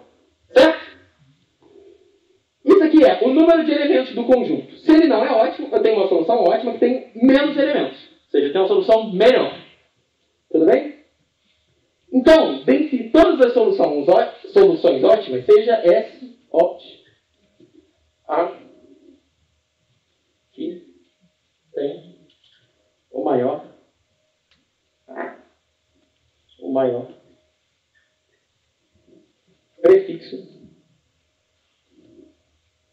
como com S. Então eu vou pegar a solução que os primeiros intervalos que foram colocados é o mais parecido possível com a minha solução S. Tudo bem? Tranquilo? Então, existem, podem existir várias soluções ótimas, entre todas essas eu quero aqui ter um maior início comum. Deixa eu ver se apagador aqui é melhor.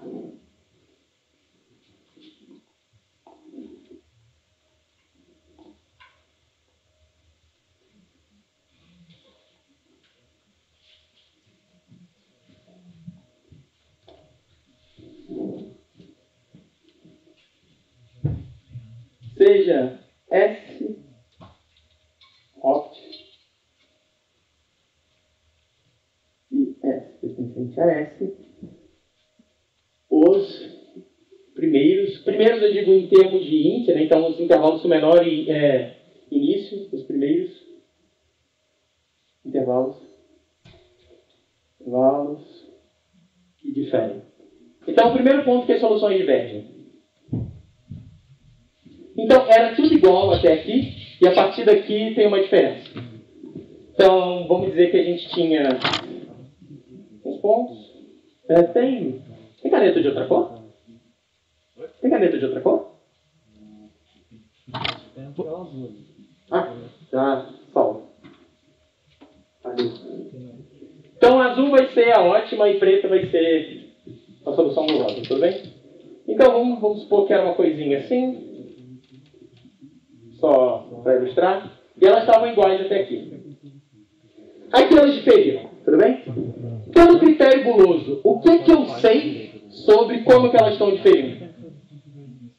Quem que começa, quem, quem, qual desses intervalos aqui começa antes? O S ou o S opt? O Szinho ou o Szinho opt? Qual? Oi? Opt, né? Por quê? Porque pelo critério guloso, eu escolhi esse cara para começar o mais tarde, para começar o mais tarde possível. Ele só vai começar no primeiro cara descoberto e o início dele vai estar tá nesse primeiro cara descoberto. Então ele vai estar tá aqui e o S-Opt vai estar tá aqui. Tudo bem? Uh, então, o que, que eu posso fazer? Como até aqui, pelo critério, as soluções são iguais. E pela forma como a gente elaborou o critério guloso, a gente sabe que todos esses caras estão cobertos, porque o algoritmo não deixa ninguém descoberto para trás, a gente não precisa olhar para cá. É um problema independente. E aqui está aquela parte importante. Até aqui nos ajudou o Senhor, entendeu? A gente não precisa olhar para cá. Para cá está certo. A gente só precisa se preocupar com o que a gente não fez ainda. Para cá é independente. Uh, essas partes vão ser independentes. Então, é, o que, que eu posso fazer? Como eu sei que o preto e o azul já são soluções para cá, o que, que, eu posso fazer? Eu posso pegar o meu Szinho, opt, e jogar ele para frente, sem tornar a solução ótima inviável, né? sem tornar ela uma solução errada. Todo mundo concorda com isso? Porque daqui para trás ela é igual a preta e a preta está certa. Esse azul estava um pouco mais para trás, mas ele não precisava, tá? Porque ele não está cobrindo ninguém. Ele não é necessário. De forma formal, o que, que eu estou fazendo? Estou fazendo um S', que é igual a S opt. Tira o Szinho opt. E coloca o Szinho da minha solução gulosa, certo? Esse cara é viável. Porque com certeza ele cobre todos os pontos que o azul cobria e possivelmente um pouco mais, certo? Porque todo mundo para trás estava coberto e todo mundo para frente vai estar coberto também. Porque o limite direito dele é maior. Certo? Então essa solução ainda é viável. Todo mundo tranquilo com isso? E ela tem o mesmo tamanho, né? Eu tirei um cara e botei um cara, eu mantive o tamanho dela. Só que o que, que acontece? Agora, esse cara é igual da solução gulosa. Então eu achei uma solução ótima que tem um prefixo maior com a minha solução gulosa. É contradição, né? Porque eu tinha tomado o S-opt como cara ótimo com maior prefixo igual. Agora eu aumentei esse prefixo. Tudo bem? Vou dar 10 segundos para vocês internalizarem isso. O que, que eu tinha antes? Tem um critério guloso, ou seja, eu estou sempre pegando, estou sempre, sempre tentando, o, o que, que é o guloso aqui, né? Ah, eu vou tentar cobrir o máximo possível a partir desse ponto, ou seja, tentando fazer o máximo, tentando otimizar localmente, vou cobrir o máximo agora. Esse é o meu critério local. Supus que não é ótimo e peguei uma solução ótima que tem a maior sequência inicial parecida com a minha. Como? Pela forma como eu escolhi ah, os intervalos, eu sei que no primeiro ponto que eles diferem, a solução ótima tem que estar mais para trás, porque eu sempre escolho o meu, o, o meu intervalo atual para ser o mais para frente possível. Mas como eu sei que daqui para trás está tudo certo, eu posso avançar esse cara para frente. Tira, avançar para frente é a mesma coisa que tirar da solução ótima e colocar o cara que eu fiz da escolha gulosa. Achei uma solução de mesmo tamanho, viável, que tem um prefixo comum maior. Tudo bem? É, esse problema tem outras provas, mas isso é uma forma muito robusta de provar esse problema. Essa coisa de pegar uma solução ótima, a mais parecida possível, e mostrar que eu melhoro ela. Isso aqui prova disso até MST, tem problema difícil pra caramba.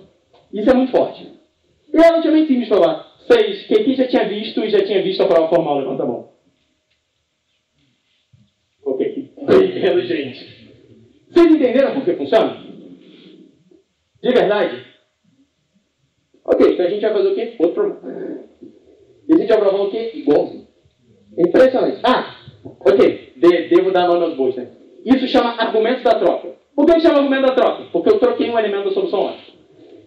Pode ter vezes que vocês vão ver provas de gulosos que ele vai não vai estar tá, vai tá trocando elementos, mas não vai estar tá trocando a solução ótima. Argumento da troca, eu estou trocando os elementos, está funcionando. Isso talvez seja uma forma bem, realmente bem informal de fazer isso. Vocês provavelmente vão usar o argumento da troca de uma forma mais informal, mas no fundo vocês vão estar fazendo isso na cabeça de vocês. Tudo bem? O, o que é importante é, eu preciso fazer formal durante a prova? Não. Mas na sua cabeça, no fundo, vai estar rodando formal. Isso tipo, é, uma, é bem legal de se ter, assim, é um, um talento interessante. Tudo bem? Uh, qual é a complexidade desse algoritmo?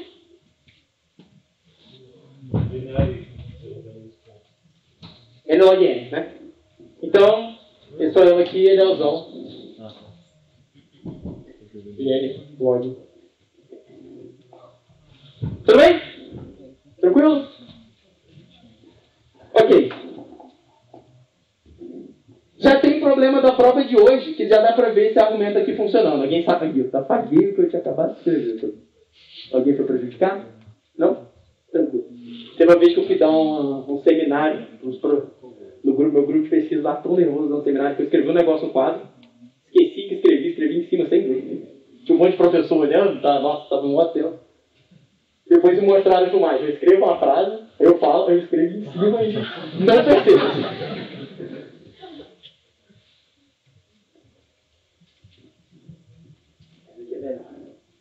É...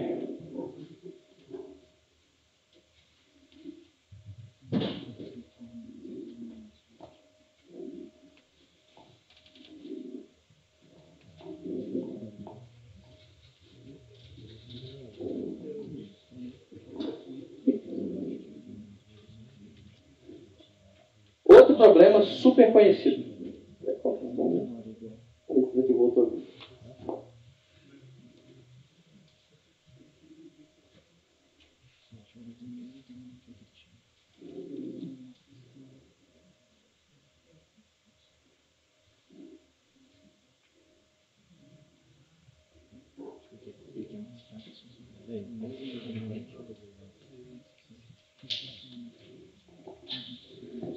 Problema da coleção máxima de intervalos disjuntos. Então, um conjunto de n intervalos abertos na direita. Então, intervalos que a ponta esquerda está incluída no intervalo, mas a ponta direita não está. Você chegar no mesmo quando chegar lá não está. Entendeu? Então a gente representa isso assim. Fechado na direita, aberto na esquerda. Tudo bem? O objetivo, achar uma coleção máxima de intervalos disjuntos. Muito simples, né? Então, vou te dar vários intervalos.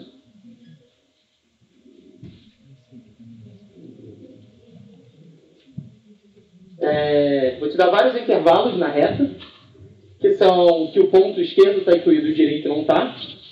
E você vai ter que me dar uma coleção máxima de intervalos disjuntos.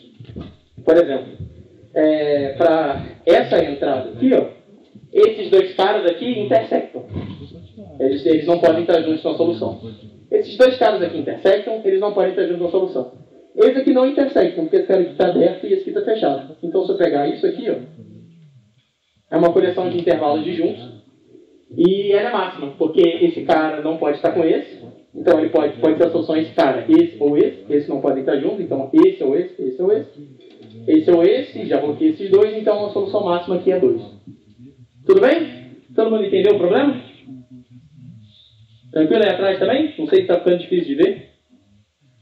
A ver cabeçuda assim, então vai estar. Critério guloso, vai. Pensem aí, quem sabe não fala, quem não sabe pensa um pouco. Pensa um pouco. 20 segundos. Nossa, o que, que eu posso fazer? Dois, vocês estão pensando e eu estou falando, eu sou muito chato. Mas, pô, guloso é pegar a entrada, ordenar de algum jeito. Brum. Então, pelo que, que eu vou ordenar isso aqui? Oi? Pelo início do intervalo, tá certo? Oi? Pelo início do intervalo pode não ser uma boa ideia. Por causa que não é exatamente simétrico, né? Aberto, fechado e tal. Uh, pelo tamanho do intervalo, eu quero pegar o máximo de intervalos possível, certo? Eu quero pegar os menores primeiro. Faz sentido, né? Funciona? Por que, que não funciona? Ele, contra exemplo, ótimo, né?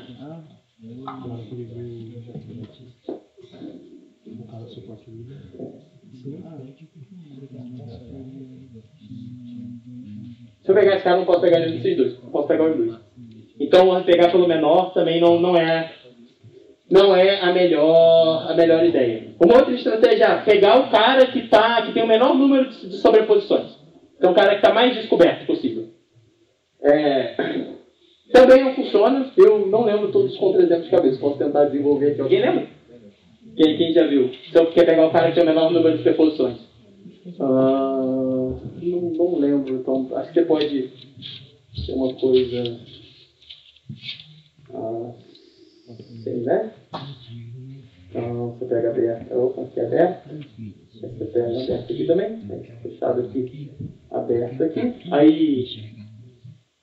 Aqui tem um monte de intervalo. Aqui tem um monte de intervalo. Hum. Não sei se vai funcionar. Não. Pego um aqui.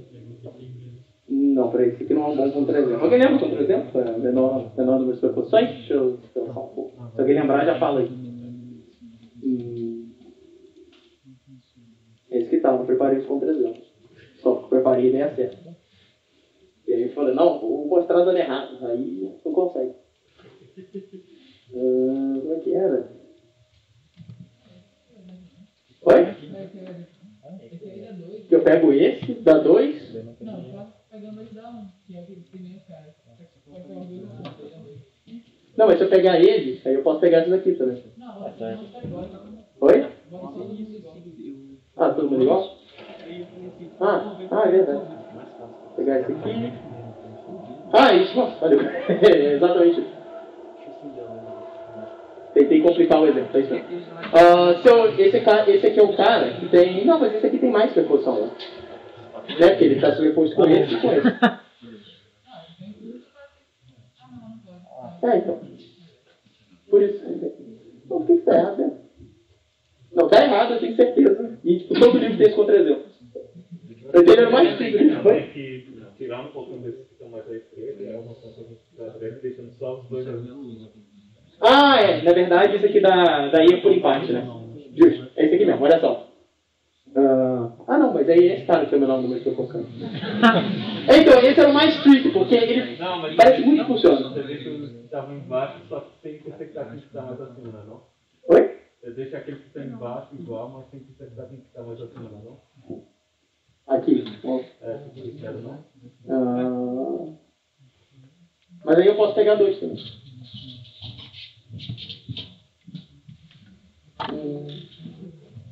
Esqueci, verdadeiramente esqueci. Mas tem um exemplo bem cozinhado para isso, assim. Mas não lembro exatamente qual é agora. Posso trazer na próxima aula. Ou olhar no intervalo. Olhar no intervalo, ah, beleza, né? vai ter intervalo daqui a pouco. Depois do intervalo a gente vai ver o que, dá errado. Porque eu vou saber esquecer. Rapaz, não, mas era simples, eu esqueci. Acontece, você vê, professor também é humano. Ah, vai dar errado, eu vou mostrar por quê. Ah, mas até eu mostrar por quê. Ah, como é que a gente resolve esse problema? A gente ordena pelo final. É, talvez agora, por, por que que daria errado pegar o menor? Pegar o menor de proteção e ordenar pelo final.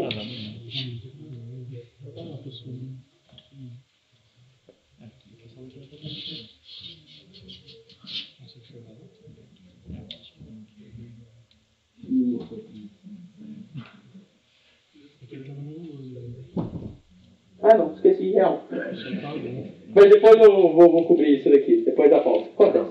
Ah, tá. Como é que a gente resolve esse problema? O critério guloso é ordenar pelo final e pegar o primeiro cara, o, o cara que está com o final mais próximo de mim. Tudo bem? Então, aqui é, a ordem que eu seguiria seria: olho, esse, eu, pego, eu olho esse cara primeiro, depois esse, depois esse, depois esse. Estou vindo da esquerda para direita, tudo bem? Mas eu sempre consigo. Não estou vendo da esquerda para direita, na verdade, porque isso aqui pode acontecer, né? Tudo bem? E eu não quero. Esse cara é o último que eu vou olhar. O primeiro que eu vou olhar é esse. Tudo bem? Então, eu estou vindo sempre do cara que tem o menor final. Ah, qual é a ideia sobre isso, né? A intuição. A intuição é, ah, eu vou pegar, eu quero o maior número de conjuntos disjuntos, certo? Antes eu queria botar o intervalo uma forma que ele me ajudasse o máximo para frente. Agora eu quero pegar um intervalo que vai me atrapalhar o mínimo para frente. Eu estou pegando o cara que está mais próximo de mim, né? Ou seja, é, eu vou pegar ele de forma que ele me libera mais cedo. Entendeu? Ah, eu, eu tenho vários compromissos e eu quero fazer o máximo deles. Eu quero os que acabam mais rápido, não que acabam mais rápido, os que acabam mais cedo para eu poder ir para o próximo logo. Entendeu? Essa é a ideia. É, então o critério guloso é ordenar pelo final do intervalo. Ah, tá, então a gente vai tentar provar o porquê que isso está certo.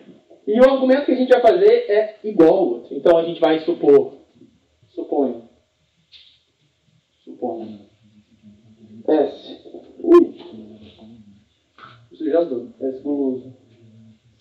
Não. Ótimo. Então, existe S opt. Tá o quê? S. Opt. Menor que S. Certo, tudo bem? E a gente vai pegar S. Opt. Ou mais parecido. Mais parecido, o que eu quero dizer com o maior prefixo comum. Tudo bem? Tá, e agora o que, a gente vai fazer? Vamos fazer a mesma coisa, ou seja, S, opt, pertence S, opt e S, pertence a S, é, os primeiros intervalos distintos ou diferentes. É uma coisa.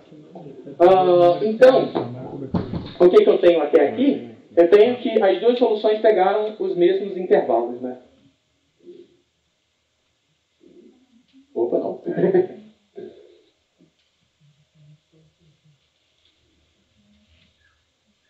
Tudo bem? Então, essa aqui é a solução gulosa. Essa aqui é a solução ótima.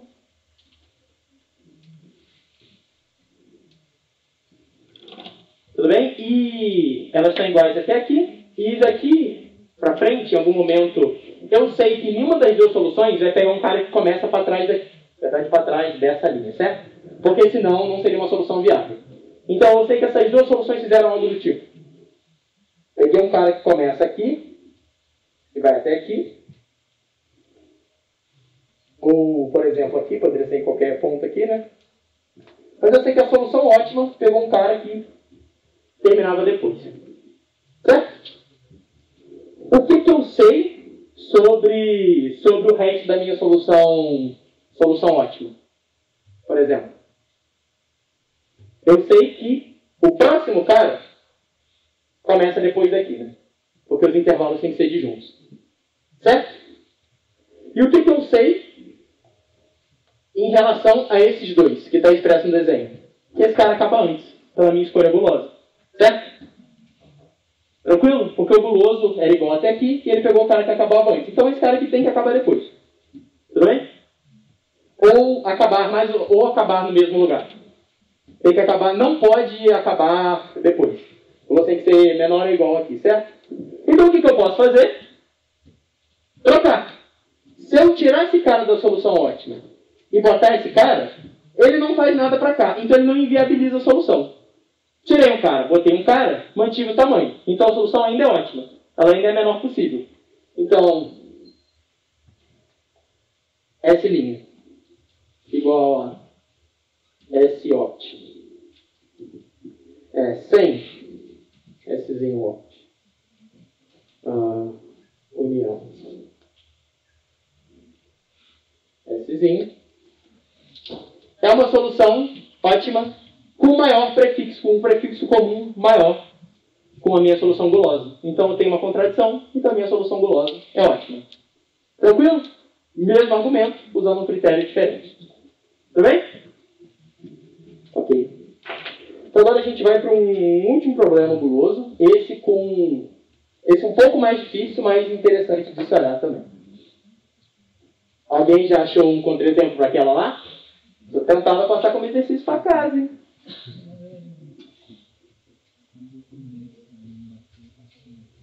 Qualquer coisa a gente vê depois. Ah. E isso é uma coisa também para ficar bem atento em guloso, inclusive. Quantas vezes fazendo prova com o tipo, nossa, gente viesse ideia gulosa. O cara falou, pô, mas você sabe prova? Eu falei, você sabe quebrar, sabe quebrar um guloso? Ele falou, não. Aí outro estava errado. uh, ok. O problema é o seguinte. Ah, é. Qual é a complexidade disso aqui?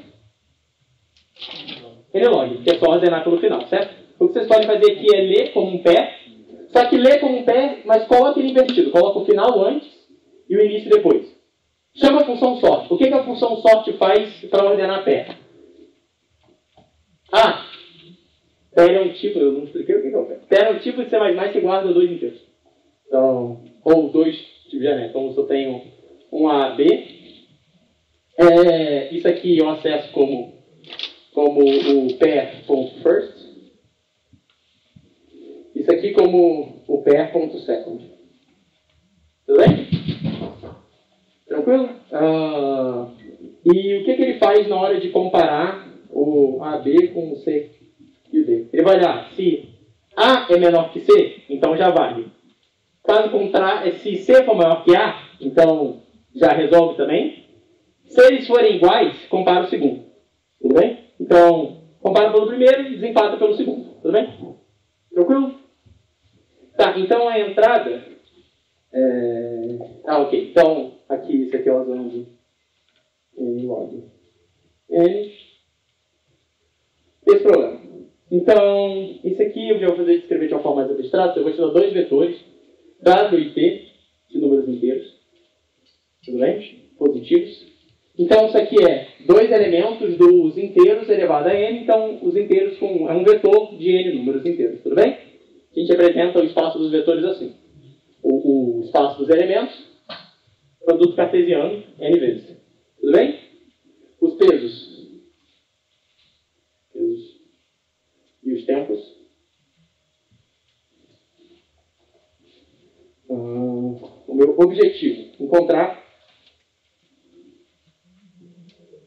uma ordem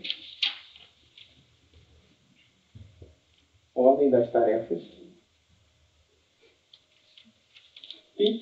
Pi é, a gente usa muito em matemática para, além permutação. Então, um pi, ele é basicamente um vetor que o elemento 1 vai ser um elemento aqui de 1 a n, sei lá, o 2.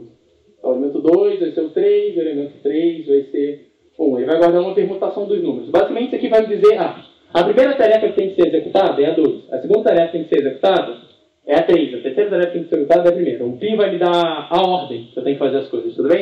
Então, eu quero encontrar uma ordem das tarefas pi. Tal. Que? Aí custo, uma certa função custo de π, que é igual ao somatório de i igual a 1 até n, ou seja, para todas as tarefas, eu vou pegar o peso da tarefa que vai ser executada na etapa i, vezes o somatório de j igual a 1 até i menos 1, até i, ct de π, j. Tem um monte escrito no quadro, né? O que, que isso quer dizer? Uh, vamos pegar um exemplo. Tudo bem? Meu exemplo aqui vai ser W igual a W2 e o T igual a T1, T2. Tudo bem? Eu tenho, uma série, eu tenho duas ordens possíveis para executar as tarefas. Posso fazer A1 e A2 ou A2 e A1. Como é que fica o custo aqui? Se eu fizer A1 depois A2, ela vai ser W1 vezes T1, né? Ou seja, a, o peso da tarefa atual é o custo, é, o custo dela, né? o peso dela, na verdade, vezes o tempo, a somatória do tempo de todas as tarefas que foram feitas antes. Se a T1 é a primeira, é só o tempo dela. Mais é, W2 vezes T1 mais T2. Isso aqui é para π igual a 1, 2. Tudo bem? Se eu tiver π igual a 2, 1, ou seja, eu quero fazer a tarefa 2 depois da tarefa 1, o meu custo total vai ser W2 vezes T2, porque eu não fiz nenhuma tarefa antes do, do T2, da tarefa 2, mais W1 vezes T1 mais T2. Então, o que, que vai ser o custo final da tarefa? Vai ser o peso dela vezes o, o tempo decorrido até ela ser completada. Tudo bem? Todo mundo ficou tranquilo com esse monstro aqui? Essa é uma forma bem matemática de escrever o que está aqui. Estou usando permutação, estou usando somatório, estou usando um monte de coisa. Mas basicamente o que eu quero dizer? Estou dando pesos e tempos para as tarefas serem completas. O custo dela vai ser o peso dela vezes o tempo, o tempo final que ela foi completa. Ou seja, somatório de tudo, somatório de tudo que foi feito antes, é, mais o dela, né? que é o tempo que eu levo para terminar ela. Tranquilo? E eu quero minimizar esse custo. Uh, alguém já viu esse problema?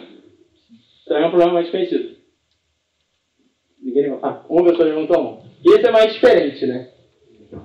Também vai ser argumento da troca, mas, pô, mano, como é que tu mata o critério pra, pra fazer esse problema? Tipo, sei lá, eu ordeno pelo menor, ordeno pelo maior. Uh, não vou ficar fazendo, já que não tem tanto tempo, e já vou, jogar, já vou liberar vocês pro lanche em 5 minutos atrasado, na verdade. É, eu vou. Não vou ficar fazendo todos os contra-exemplos aqui, até que eu não lembro todos de cabeça. É, a gente aqui, a gente vai olhar um tipo bem específico de argumento, que é o seguinte. É, a gente vai tomar uma permutação pi qualquer, ou seja, uma ordem dos elementos, e a gente vai olhar dois caras vizinhos um do outro, tudo bem? A gente vai olhar o cara que fez a iésima tarefa e a iésima mais uma tarefa, tudo bem? Então, o que, que acontece? Seja, a gente vai dizer que A vai ser igual ao somatório de i igual a. Desculpa, de j é igual a 1 até i menos 1 de t de πj. Tudo bem? Então, isso aqui é o tempo de todas as tarefas que vieram antes do i. Tudo bem? É só o somatório dos tempos. Então, vamos olhar o tempo da, das tarefas i, i mais 1. A gente tem o peso de πi vezes A mais T de PI tempo de tudo que veio antes de pi, mais o tempo para completar pi. Tranquilo? Mais W de pi mais 1 vezes A mais T. Ah, T de pi i mais T de pi i mais 1. Tudo bem? E eu vou, eu vou querer saber em que casos isso aqui é menor do que se eu trocasse essas tarefas de ordem. Então eu vou fazer W de pi i mais 1. A mais T de pi e mais 1. Mais W de pi i vezes A mais T de pi i mais T de pi i mais 1. Certo? Aqui eu troquei a ordem das tarefas, tudo bem? Eu quero saber em que casos. Aqui seria como se eu tivesse uma segunda permutação diferente, em que eu só diferi dessa daqui trocando dois caras adjacentes, tudo bem? Eu quero saber quando que essa aqui que uma permutação que eu troquei dois caras adjacentes. Então, o que, que a gente vai fazer? A gente vai é, tirar a diferença desses dois caras, tudo bem?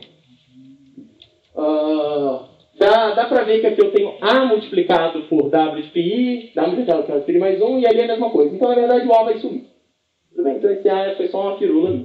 Então, aqui eu vou ter que W do pi, T, I mais W de pi, mais 1, ah, vezes T de pi mais T de pi, mais 1, menor ou igual que W pi de mais 1, ah, T de pi e mais 1,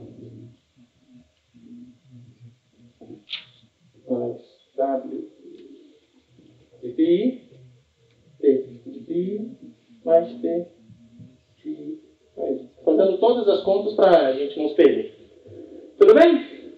Então, o que, que tem igual de cada lado? Que eu tenho pi mais 1 vezes pi mais 1, que eu tenho lá também, então posso tirar acesso. Então, um simétrico deve ter que acontecer também. Eu tenho pi ti, lá eu vou ter pi ti, então esse cara aqui vai cortar também. Então eu vou ter que aqui vai ser w de pi i mais 1, t de pi se menor ou igual que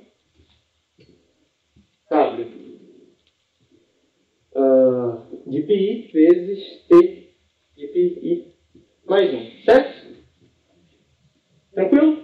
Quando eu tenho essa situação assim, ah, eu tenho um pi mais 1, pi não, tem coisas que não são exatamente iguais de, do, dos dois lados. O que, que eu faço?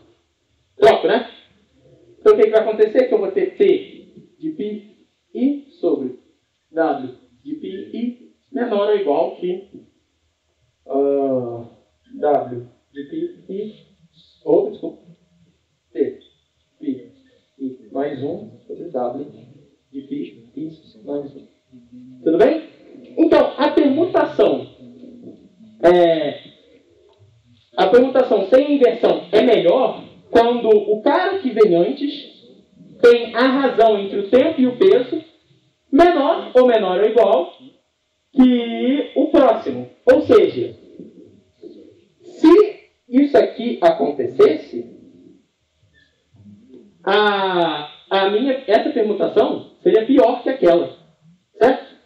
Então significa que em uma permutação ótima, eu nunca vou ter dois caras adjacentes, tal que estão em uma solução. Opt não ocorre. T de pi sobre W de pi maior do que T de pi mais 1 sobre W de pi i, i mais 1. Tudo bem? Então o que significa? Que ah, se numa solução ótima isso aqui nunca ocorre, então uma solução ótima tem que estar valendo isso aqui. Tem que estar valendo sempre isso aqui. Então significa que numa solução ótima não tem inversão. Qual é uma solução que não tem inversão? Ordenada por isso. Critério completamente arbitrário. Você pegar a razão do tempo pelo peso. Mas funciona. E qual é o argumento? O argumento da troca. Se eu pegar dois caras adjacentes e trocar, e tem essa inversão, funciona. Ah, mas se eu tiver dois caras que têm essa inversão, mas não são adjacentes? Exercício, exercício importante, vocês vão saber isso muito na vida. Se existe uma inversão no vetor, ou seja, existem, eu tenho um vetor, eu tenho um elemento A e um B, tal que A é maior que B, existem dois elementos adjacentes, ah, é um VI um VJ, tal que VI é maior que VJ, vão existir algum, ah, entre esses dois, inclusive, dois caras adjacentes, tal que VK é estritamente maior que VK mais um. Então, eu tenho uma inversão, tenho uma inversão adjacente. Vocês vão usar isso aqui, em CF direto. Não só isso, mas isso no meio de encantamento, tudo bem? Então, vou ordenar pela razão. Como você descobre isso? Sabendo o argumento da troca. Você vai no argumento da troca, pensa numa ordem, aí se eu trocar, o que, que acontece quando eu troco dois caras adjacentes? Ah, eu descubro o critério. Mágica.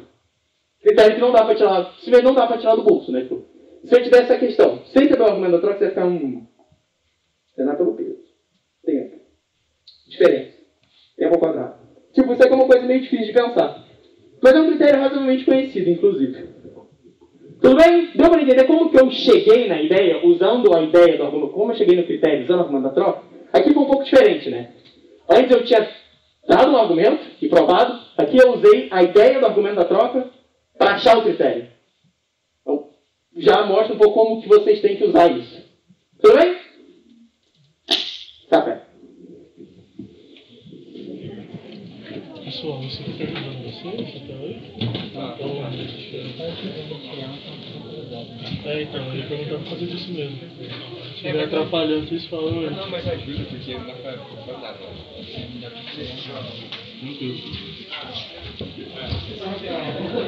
nada. Tranquilo.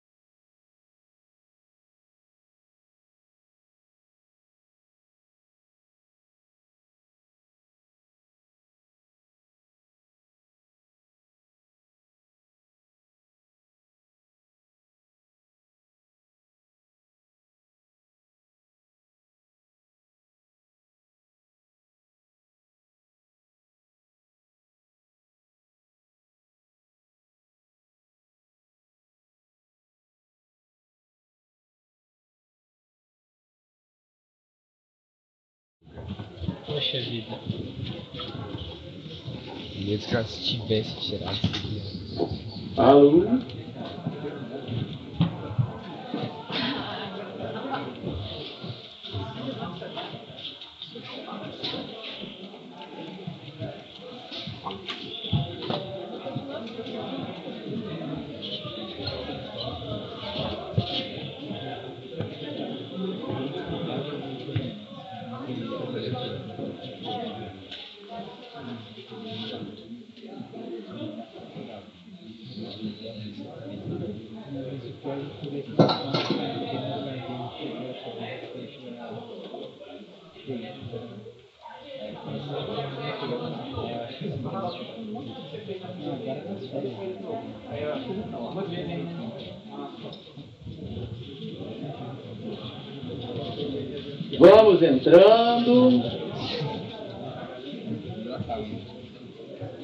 Temos, ó, a gente só tem mais duas aulas e uma hora juntos, né? Vocês estão desperdiçando o nosso tempo aqui.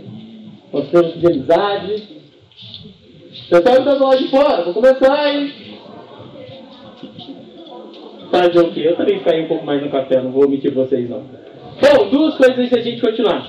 O Fernando Sanis me apontou, muito obrigado, Fernando, que na verdade eu caí numa fake news. O GTC Sorte usa o Quick Sort até um certo ponto. Se ele sente que está ficando muito ruim, ele troca o algoritmo em Nlog garantido. Caiu numa fake news aí da, da graduação. Eu acho que eu lembro de um professor explicando que era enquadrado, mas vacilei devia ter tido certeza disso antes. Mas o Quicksort, então, ele é garantidamente Nlog. E não precisaria se preocupar de qualquer maneira, porque esse negócio é muito eficiente. Assim. O algoritmo de ordenação, se está dando TL, provavelmente não é um problema do algoritmo de ordenação, é um problema da ideia. Dificilmente vai ser ele. É muito eficiente, muito rápido. Ah, oi? Ah, é um algoritmo. Qual era o nome mesmo? Introsort. Dá- Tem uma página da Wikipedia pra vocês darem uma olhada. Essas são coisas que, tipo, o código é bizarro e, tipo, são coisas muito escovadas pra prática, assim. Ah, então, primeira correção, muito obrigado. Segunda, é, eu estava tentando dar um caso, um contra-exemplo muito conciso. O contra-exemplo, na verdade, ele é mais ele é mais diferentão. É isso aqui. Percebe que esse cara tem uma intersecção, esse cara tem uma intersecção e esse cara tem uma intersecção. Só que se eu pegar esse, eu não posso pegar esses dois. Então ordenar por intersecção não é conclusivo. Você pode ordenar, pode ordenar por, in- inter- por intersecção, dá certo ou dá errado. É que eu estava tentando um caso que era óbvio que estava errado, mas esse aqui na verdade você pode ordenar e fazer uma escolha errada ali no meio. Tudo bem? Estamos tranquilo com guloso? Vai ter guloso amanhã na prova, já vou adiantar para vocês. Então, vai ter questões fáceis, questões difíceis. É, uma coisa que a gente vai cobrir agora é PD. Quem já vai falar de PD? Pô, bastante gente. Mas agora todos vão ouvir falar. PD stands for Programação Dinâmica.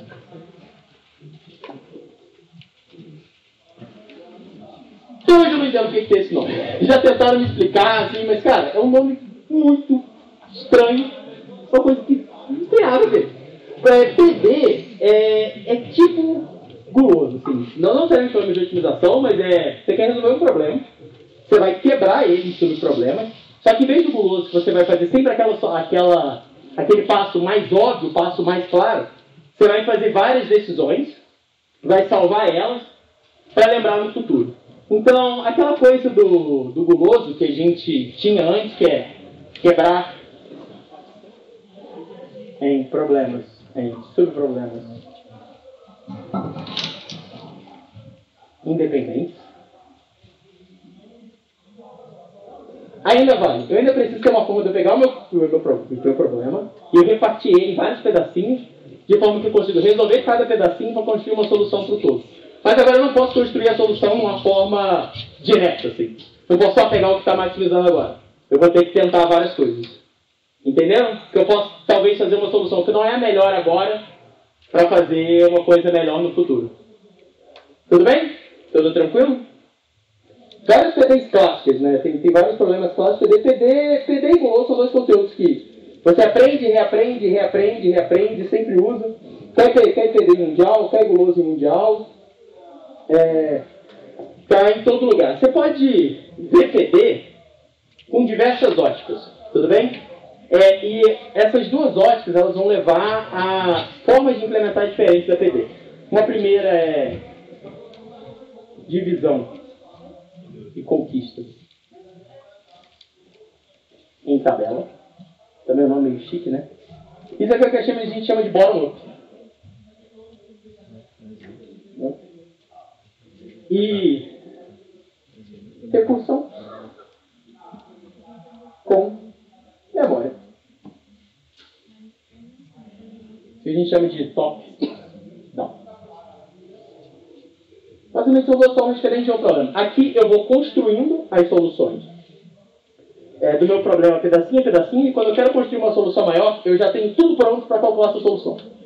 Aqui, eu, ah, eu quero calcular a solução desse problema. Então agora eu vou chamar uma função para calcular a solução para cada subproblema, vou usar o que essa função me devolve para construir uma solução com o meu. Tudo bem? São dois paradigmas diferentes. Só que isso aqui, não você, nossa, vou bater, é isso não. Isso aqui normalmente vai levar para uma implementação interativa, isso aqui né, vai levar para uma implementação recursiva. Isso aqui tende a ser mais eficiente. Implementar PD interativo tende a ser mais eficiente. Não é sempre. É, tem alguns casos bem raros, que eu, pelo menos eu considero muito raros, foram, foram poucas vezes que apareceram aí na minha trajetória, assim, que recursivo era melhor que interativo. É, normalmente interativo você consegue fazer as coisas numa ordem melhor, mais rápida, consegue otimizar a memória, consegue otimizar estado, mas muitas vezes isso aqui é muito mais fácil de pensar. É bom vocês saberem os dois. Tudo bem? Uh, ok, então a gente tem esses dois paradigmas e a gente precisa ter essa ideia de quebrar esses problemas independentes. E não só isso, eu tenho que. A solução ótima para esses problemas vai me ajudar, vai, vai fazer parte da minha solução ótima para o problema geral. Tudo bem? Então é o que a gente chama de subestrutura ótima. Uh, acho que talvez o caso mais clássico, que todo mundo sabe, é o Fibonacci, né? Então, o problema é o Fibonacci. É, Fibonacci. Como é que eu defino o número de Fibonacci? Né? F de n vai ser igual a 1, se n menor ou igual a 2, então é 1, 1, 2, 3. E, ou f de n menos 1 mais f de n menos 2, se n maior que 2. Então, se é 1 ou 2, é, eu retorno 1, senão eu pego a soma dos dois termos anteriores, tudo bem? Isso aqui é o clássico do problema recursivo. Saber o valor, eu preciso saber dois valores anteriores aos meus. Tudo bem? Como é que a gente calcula isso aqui da forma mais básica possível? Uma função recursiva, certo? Vou escrever de uma forma meio pseudocódigo aqui. Ó. O Fibonacci do n vai ser igual a if n menor ou igual a 2 return 1, se não, return n menos 1 mais o fim n menos 2. Tudo bem? Essa é a forma mais direta de implementar isso. Só faço uma função que expressa diretamente essa recorrência. Tudo bem? Claramente essa função é muito ruim. É, alguém consegue me dizer a complexidade dessa função? Oi? é no mínimo exponencial, né? Uh, vamos pegar, sei lá, assim, vamos ver se 5, acho que 5 já vai ser bom o suficiente. O 5 chama 4, o 4 chama 3, o 3 chama 2. Acabou. 3 chama 1, 4 chamou 2, acabou. 5 chamou 4. Então, toda essa subárvore aqui vai ser repetida. Ah, não. 5 chamou 3. Desculpa. Chamou 3. Então, toda essa subárvore aqui. Isso. Toda essa subárvore aqui.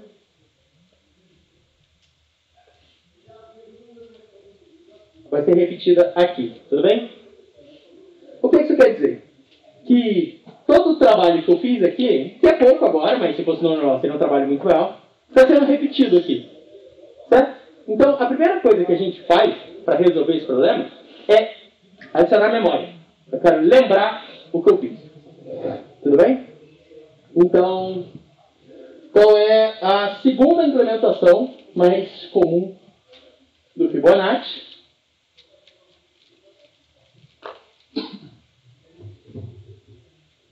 É, eu vou adicionar um vetor memo, tudo bem? Que vai até n. E ele vai começar com menos 1. O... Tem uma sintaxe parecida para em C++, acho que não é. Mas isso aqui é, começa com menos 1. Tudo bem? Então, fib de n. Eu vou olhar. If n menor ou igual a 2, uh, return. Bom, isso aqui eu mantenho igual. Aí depois eu olho. Se mesmo de n é menos 1, eu vou ter que calcular, né? Então, menos de n, isso é igual a φ, menos 1, mais o φ de n menos 2, return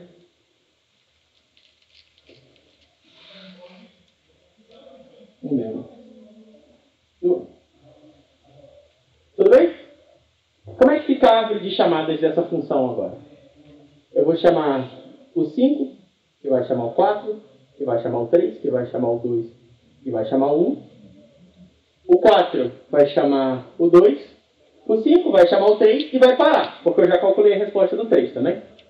Então, em vez de eu ter, eu não vou ter mais a repetição dessa árvore aqui, aqui, eu vou ter só esse elemento. Eu estou transformando o negócio que claramente vai, na verdade vai mais que dobrando, na verdade isso aqui, isso aqui é no mínimo exponencial, isso aqui é na verdade Fibonacci, que é mais pesado, é, em linear. Só lembrando, adicionar memória, esse conceito de memória, depois de lembrar o que eu fiz, torna né, coisas exponenciais, exponenciais lineares. Então isso mostra a força da PD. PD é muito forte quando eu tenho um problema que eu posso decompor em vários estados e eles são recorrentes. Assim, eu vou chamando o mesmo estado várias vezes. Tá Se eu tenho muito estado, a PD ela vai ser proporcional ao número de estados que eu tenho. Então ela continua lenta. Mas se eu tiver poucos estados, eles são chamados, são chamados muitas vezes, eu vou ter uma PD rápida em comparação ao brute force, né? em relação ao algoritmo recursivo exponencial. Tudo bem? Uh, como eu faria isso aqui? Mundo, tá, eu estou passando razoavelmente rápido, mas porque é um problema tão clássico que eu suponho que vocês já estejam até acostumados. Eu estou só usando isso aqui como tipo, um exemplo modelo. Assim. A gente vai, pra, vai ver umas PDs mais complicadas depois.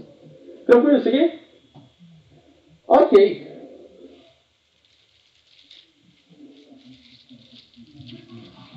Como que a gente pode implementar isso aqui de forma... Isso aqui é claramente uma implementação top-down, né?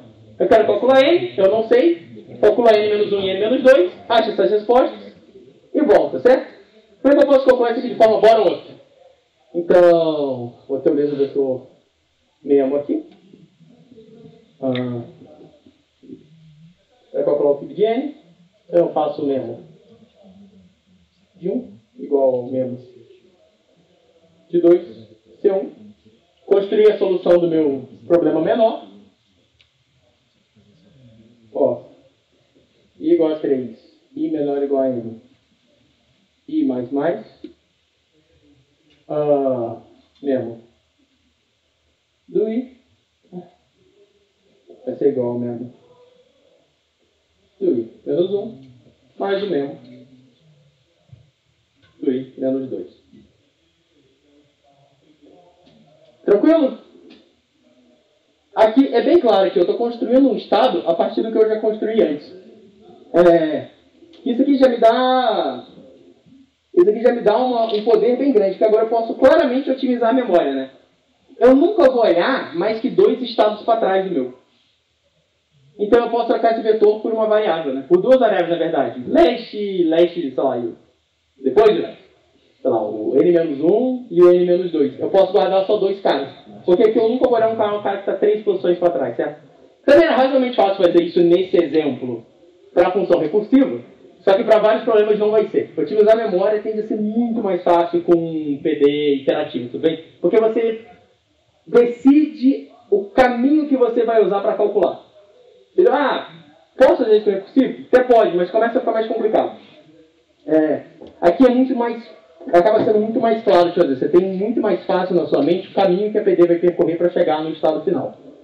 Tranquilo Fibonacci? É um exemplo Simples, mas é um exemplo a gente, todo mundo ficar mais ou menos no mesmo caminho. Tudo bem? Ok. Outra PD clássica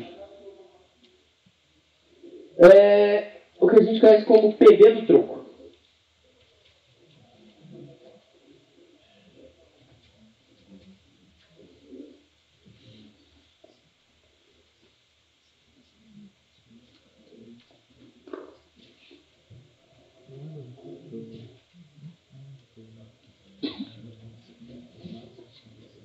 Então a PD do troco ela vai te dar entrada.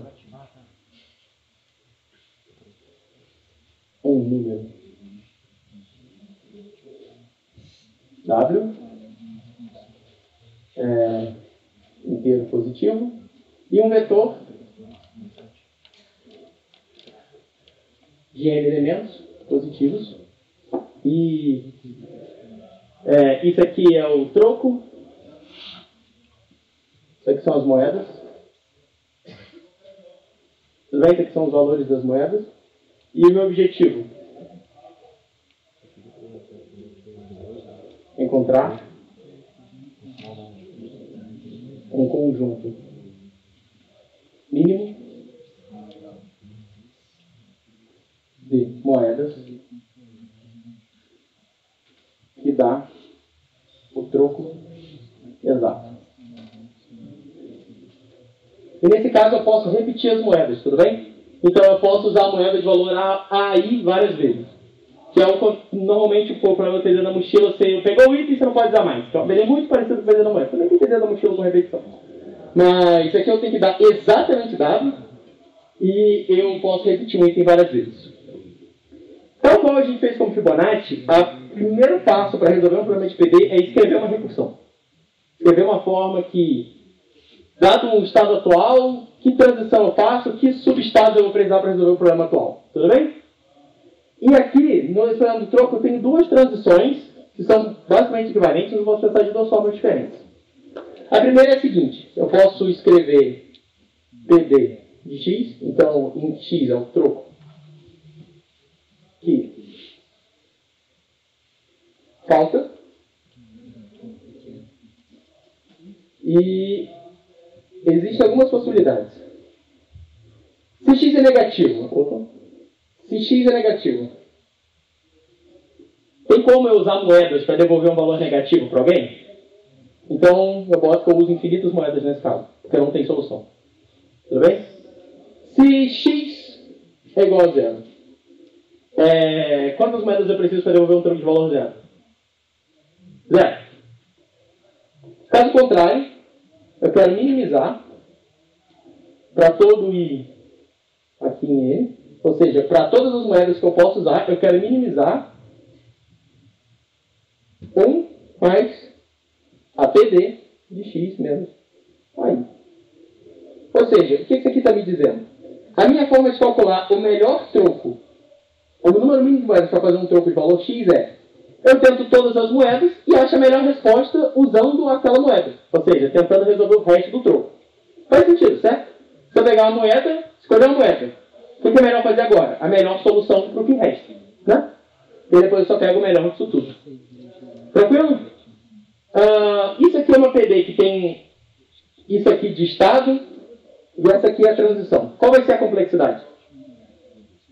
Para cada valor de troco, eu vou fazer um esforço linear, né? Que eu vou ter que passar por todas as moedas. Qual é a complexidade? É, é quadrático em quê?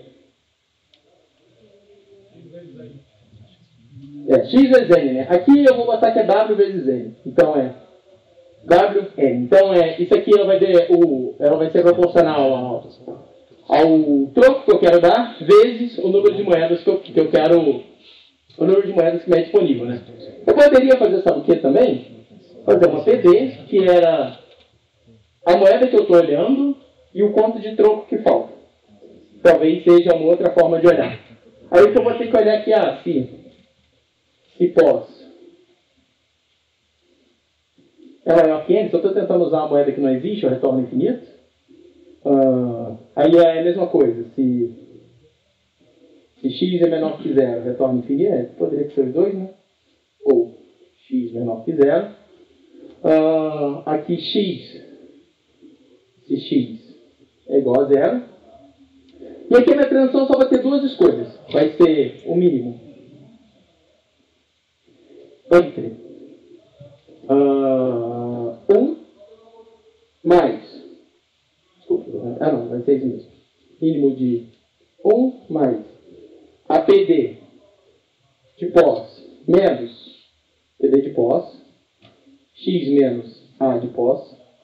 Ou seja, eu usei a moeda, eu usei uma moeda de índice pós e quero saber, quero resolver o meu subproblema que é, que é deduzindo esse valor, ou eu vou tentar usar a próxima moeda.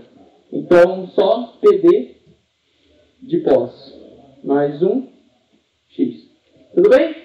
Se eu boto a moeda no estado, a minha transição só é, eu uso essa moeda mais uma vez, eu ando para a próxima moeda. Tudo bem? A transição agora é O de 1, o estado é o pro N vezes o W, né? Então essa PD tem a mesma complexidade. É a mesma coisa. No geral, complexidade de PD vai ser estado vezes a transição que está fazendo. Então quando vocês estiverem desenvolvendo a PD, às vezes você vai gerar, ah, eu estou declarando uma matriz, então a PD é quadrática, e você está fazendo um, um laço linear dentro, na verdade é cúbica. Então sempre fiquem espertos nisso. É a transição que você está fazendo vezes o número de estados. Tudo bem? Todo mundo tranquilo com a PD do truque? Vocês saberiam implementar? Posso implementar. Mas, se vocês estiverem tranquilos com ela, eu passo para frente já. Por exemplo, essa daqui eu vou fazer a implementação recursiva e vocês fazem a iterativa depois. Sempre bom ter em mente. Ah, aqui. Vou fazer da, da, da primeira. Hum, eu suba mesmo. De nada. Vou dizer que eu vou começar com menos 1, que indica que eu não calculei, certo? Então, PD de x. Se x menor que zero, retorna infinito. Se x igual a zero, você retorna zero. Caso contrário, if memo de x é menos 1, aqui você tem que calcular PD. Então, o que, qual é a transição? Você vai tentar todas as moedas e vai pegar o menor. Então, não pode ser pior que infinito, certo? Então, memo de x, você está inicialmente como infinito. Depois, for igual a 1 ou igual a zero, né? I menor que n. I mais mais, na verdade eu devo estar do lado, não, aqui eu não fico do lado de ninguém. I igual a zero, I menor que n. I mais mais, nemo, vai ser igual ao mínimo do memo de x é com a 1 mais a PD de x menos aí. Tudo bem? E depois return memo.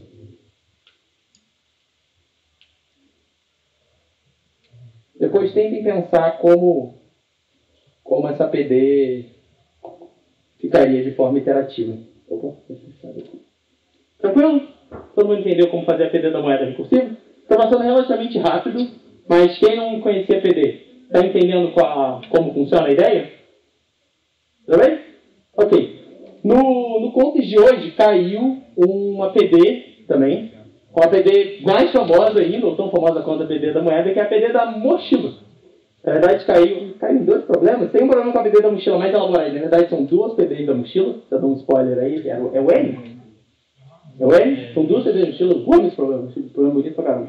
E acho que tem um outro que você pode PD da mochila também no meio. É... E a PD da mochila é muito parecido com isso aqui. Na verdade, a PD da mochila é um dos problemas mais famosos assim, é... É... do mundo. E uma curiosidade de PD da mochila, dizem por aí, né, que ela é ensinada de uma forma diferente em cada lugar do mundo. Assim. É, na Europa, é, a pessoa está saindo para fazer um mochilão, ela quer, ela dá um, uma utilidade para cada item, quer que ela maximizar a utilidade na viagem dela, respeitando o quanto a mochila dela aguenta carregar. Uh, Na Rússia, sei lá de jeito, Estados Unidos, de jeito, no Brasil é. Um ladrão entra numa casa, ele tem uma capacidade numa sacola e ele quer maximizar o valor dos itens que ele vai roubar. E eu juro que eu aprendi assim na faculdade. é, é, então, como é que funciona a PD da mochila? Ela é muito parecida com a PD da moeda, então vale a pena a gente cobrir aqui. Vou cobrir ela rapidinho, vou deixar para vocês implementarem no sobre. Caso observe dessa prova, eu vou postar o, o post no blog do Maratonusp sobre essa prova, tem um editorial, tem comentários, e aí vocês vão aí e façam o sobre. Quando eu fazia a escola, chegava em casa e fazia o sobre, todos os dias. Também saí moído da escola naquele ano. Então, deem uma olhadinha na, na hora de fazer o sobre e implementem a PD da mochila. Vou deixar de desafio para vocês. Aí já, já, já vimos dois exemplos de como ir da recursão para a implementação. Vou escrever, vou escrever a recursão, vocês vão fazer a implementação. Tudo bem? Tranquilo? Então a PD da mochila, ela é da seguinte forma.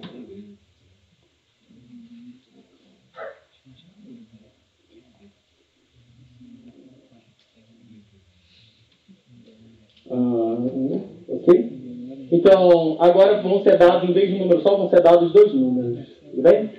Verdade, desculpa, vão ser dados dois vetores e um número. Dados uh, é, C, pertencente, dessa que vai ser a capacidade, e dois vetores W e V, pertencente ao Z, de zero. A gente vai querer encontrar um, uma seleção de itens é, a gente vai querer encontrar um conjunto de itens tal que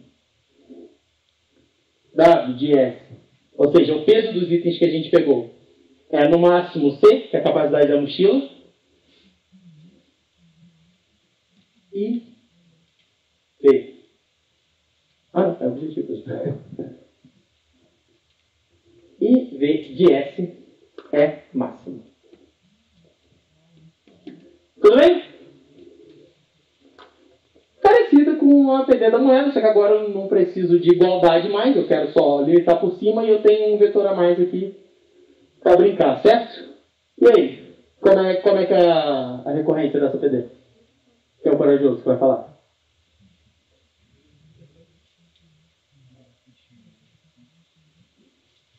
Nenhum, pelo visto. Ok. Ó, a forma mais simples de pensar nessa PD é bem parecida com a anterior. Eu vou ter PD de x, que é a capacidade que esta. Esse aqui vai ser igual a uh, menos infinito, se a minha capacidade que zero, ou seja, se eu excedi o que resta da capacidade da mochila, ou seja, eu começo com a capacidade cheia e eu vou botando o item na mochila, a capacidade que resta vai ficando menor. Se eu cedi a capacidade, ou seja, eu estourei a mochila, então o meu lucro é menos infinito. Eu perdi todos os meus itens. Estou chateado. Zero se não cabe nada, certo? Se não cabe nada na mochila, meu lucro é zero. Ou o máximo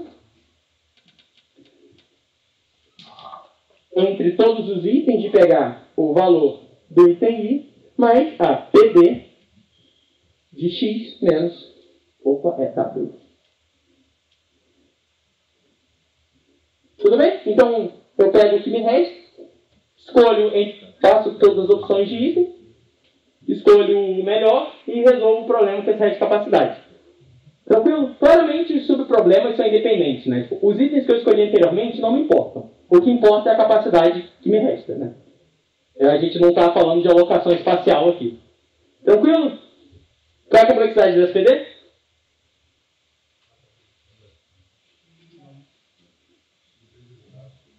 C. C vezes N, né? C é o estado, né? Só estou pensando na capacidade, e a cada capacidade eu tenho que iterar por N itens. Certo? Qual a pergunta? Essa é a pergunta bem filosófica, mas talvez em algum momento vocês se deparem com isso e vocês vão ficar confusos, vão ficar, nossa, o professor da, da World Finance falou que era quadrático, eficiente, mas não é. Isso aqui é polinomial? Alguém já viu isso na vida? Isso aqui é polinomial? Não é. Isso aqui não é eficiente no ponto de vista computacional. Na verdade, em termos de computação, isso aqui é exponencial. Como que é exponencial? Cara, isso tem a ver com teoria de complexidade, que é aquela coisa da notação ozão. Tem mais coisa na, naquela história ali. Aquilo desenrola muito mais. Talvez vocês vão ver isso aqui bem formalmente no curso de complexidade. Mas como é que eu represento um número? Em computador. Forma binária, né? E, qual, e quantos bits eu preciso representar C? Log de C, né? Log, log na base 2 de C. Na verdade, a complexidade de um problema, ela, ela tem que ser proporcional ao tamanho da entrada do problema. O tamanho da entrada é log. Só que eu tô, a complexidade depende do valor, e não do log do valor.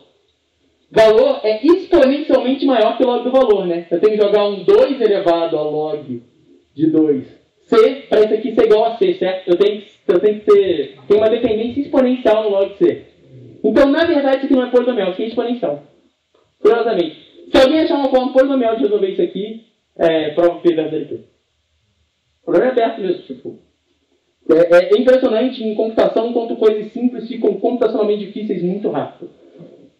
Não faz nenhuma diferença para vocês na prática. Na prática, perder da mochila é isso aqui. Mas se algum blog, em algum momento vocês verem, ah, perder da mochila é exponencial, só lembra que é isso. É porque o número para um computador representado por, por notação binária, e o número de bits para representar é log na base 2. Na verdade, é teto disso aqui. Tudo bem? Tranquilo?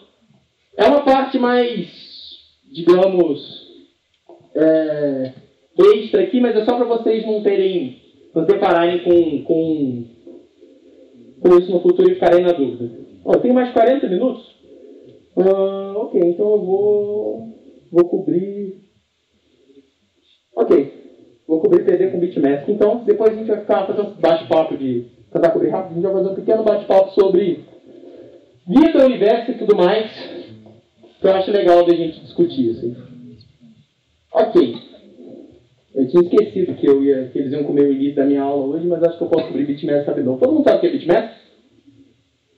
Hum, pouca gente sabe para cobrir rápido. Hum. Ok, talvez eu cubra só bitmask hoje. E aí amanhã eu vou perder com bitmask e comece o conteúdo da próxima aula. Tinha esquecido que vai perder o iníciozinho da minha aula. Então vamos lá, o que é uma bitmask? Isso aqui é um conceito bem legal.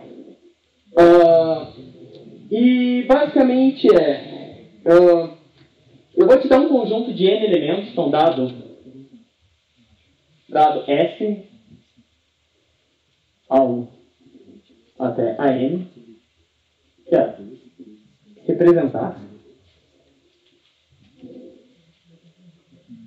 S, quer representar subconjuntos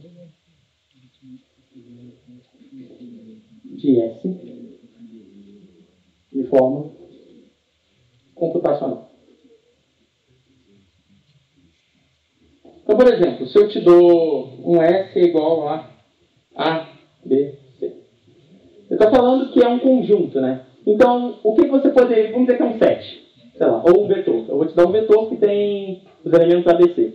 E agora eu quero representar o conjunto S' que tem os elementos A, A e C. Eu posso criar uma nova estrutura, certo? Que só tem os elementos A e C. Só ficar copiando elemento e copiando estrutura é lento. O que, que eu posso fazer? Eu posso guardar na verdade, esse meu conjunto original como referência, e eu ter só uma forma de digo, ah, nesse meu subconjunto, dos elementos originais, esse tá, esse não tá, esse tá, esse não tá, esse tá, esse não tá. Certo? Então, se eu tiver o S guardado, eu posso representar o S' como um número binário, né? Eu posso dizer, ó, o A tá, o B não tá, o C tá. Certo? Tranquilo? E o que é número binário em C++, em C, na programação. É número. Os números são guardados de forma binária no computador e você pode operar esses números na... verdade, que eu vou falar não, não é exatamente isso. Né? Você vai fazer as operações e eles vão estar acontecendo ao mesmo tempo. Se você soma dois números em decimal na sua cabeça, na verdade ele está fazendo operações binárias lá dentro.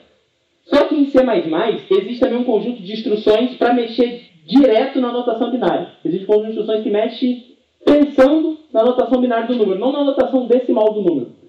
O que, que eu quero dizer com isso? O que, que, que é esse conjunto de instruções que eu estou falando? Por exemplo, esse, esse 101, ele é 1, 2, 5.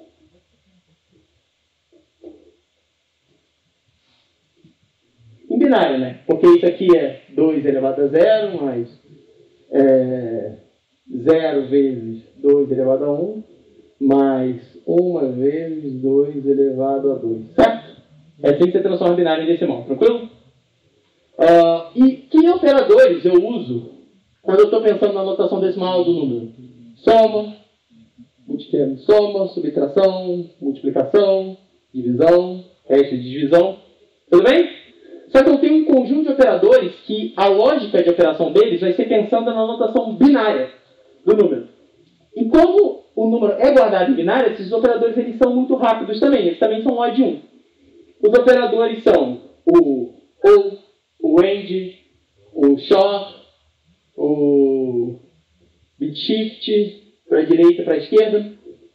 Esses operadores eles estão mexendo na, na, na representação binária do número. Então, por exemplo, se eu tenho um número que é 1, 0, 1, 0, 1, e eu tiro o OR, né? Isso aqui você pode escrever, na verdade, não para números, coisas, né? Usar operador mesmo.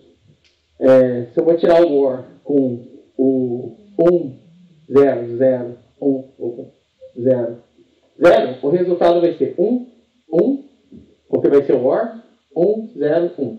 Vocês estão familiarizados com as operações OR, AND, SHOR, é, essas três aqui, o Shift eu já explico. Todo mundo já viu isso? Isso aqui deveria ter introdução à computação, mas basicamente o que, que acontece? Uh, acho que é bom explicar, né?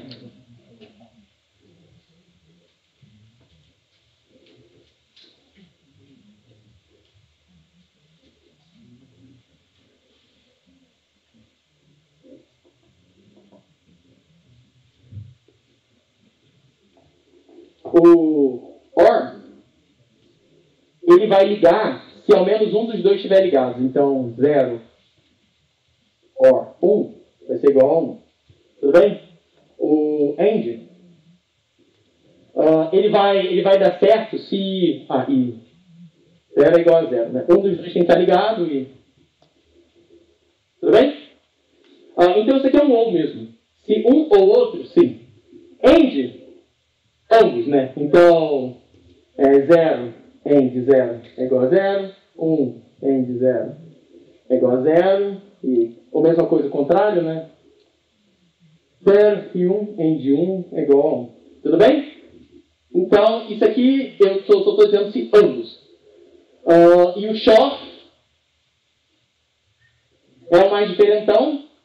Ele é um ou exclusivo. Então, se 0, short 0, é igual a zero. 1 short 1 short 0 é igual a 1. 0 short 1 é igual a 1. E 1 short 1 é igual a 0. Ele quer que os dois sejam diferentes. Tudo bem? Isso aqui representam operações de conjunto. Vocês conseguem ver? Por exemplo, se eu te dou. E se eu te dou dois conjuntos que estão representados pela. Por exemplo, isso aqui é o meu conjunto universo. Tudo bem? São todos os elementos que eu tenho. Então, cada subconjunto eu posso representar pela bitmask. É 1 um se está no subconjunto e 0 se não está. Então, eu vou dizer que S, S1 união S2 vai ser representado por, pela bitmask do S1 ou a bitmask do 2. Tudo bem? Eu estou unindo os dois conjuntos. Se está em algum dos dois, está no meu conjunto final. Tudo bem? O end é a intersecção. Tranquilo? E o short é o que a gente chama de diferença simétrica. Uh, em diagrama de Venn,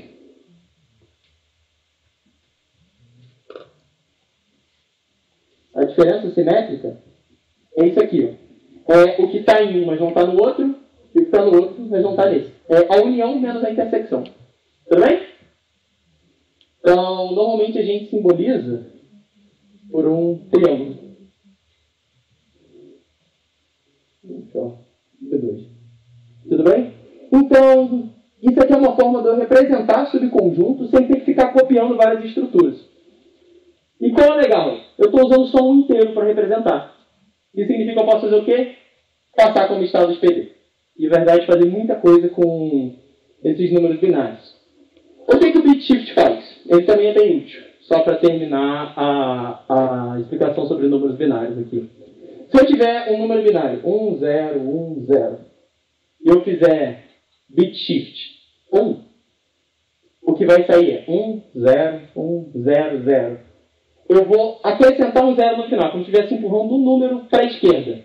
Eu estou basicamente multiplicando por 2. Tudo bem? Isso aqui é uma forma rápida de achar a potência de 2. É, 1 bit shift k é igual a 2 elevado a k. Tudo bem? Ok, ó. 1 é o quê? É 0, 0, 0, 0, 1.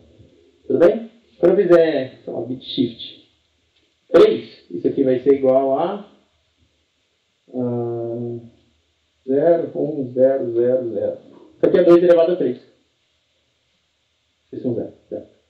É, isso aqui é 2 elevado... Opa, não. Botei o 0 Isso aqui é 2 elevado a 3, certo? Então, isso aqui é uma forma muito rápida de achar a potência, potência de 2. Isso aqui é uma forma legal da gente brincar com subconjuntos. Uma forma simples de mexer. Eu estou só mexendo, eu vou guardar, o meu cara de referência está guardado, está parado, eu não estou copiando estrutura, não estou copiando elemento, não estou mexendo com estrutura complicada. Eu estou mexendo com o inteiro e fazendo operações binárias. Isso aqui é muito rápido. Muito rápido, muito rápido, muito rápido. Então, é, intersectar conjunto e conjunto é muito rápido. Qual é a limitação? Só estou usando a representação binária de números inteiros, até quanto eu posso, quantos elementos eu posso apresentar aqui? Para inteiros, uns 32, e para long long, 62, certo? Então, eu não posso apresentar muitos elementos. Mas, normalmente, as PDs, ou às vezes que a gente vai ter que usar essa representação aqui, a gente vai ter que fazer uma PD que é sobre todos os subconjuntos. Então, a gente não poderia ter, ter um número muito grande, porque a PD é exponencial. Tudo bem? Então é ok ser pequeno mesmo, isso vai servir muito bem pra gente. Ah, não tem tempo ainda. Uh, é, uma outra coisa que vale a pena cobrir, existe, isso não é um operador, mas é, existe na linguagem, é essa função aqui, ó. Underline, underline, bonitinho, pop count. E aqui você vai dar um número. Isso aqui vai retornar o número isso aqui é número de bits ligados.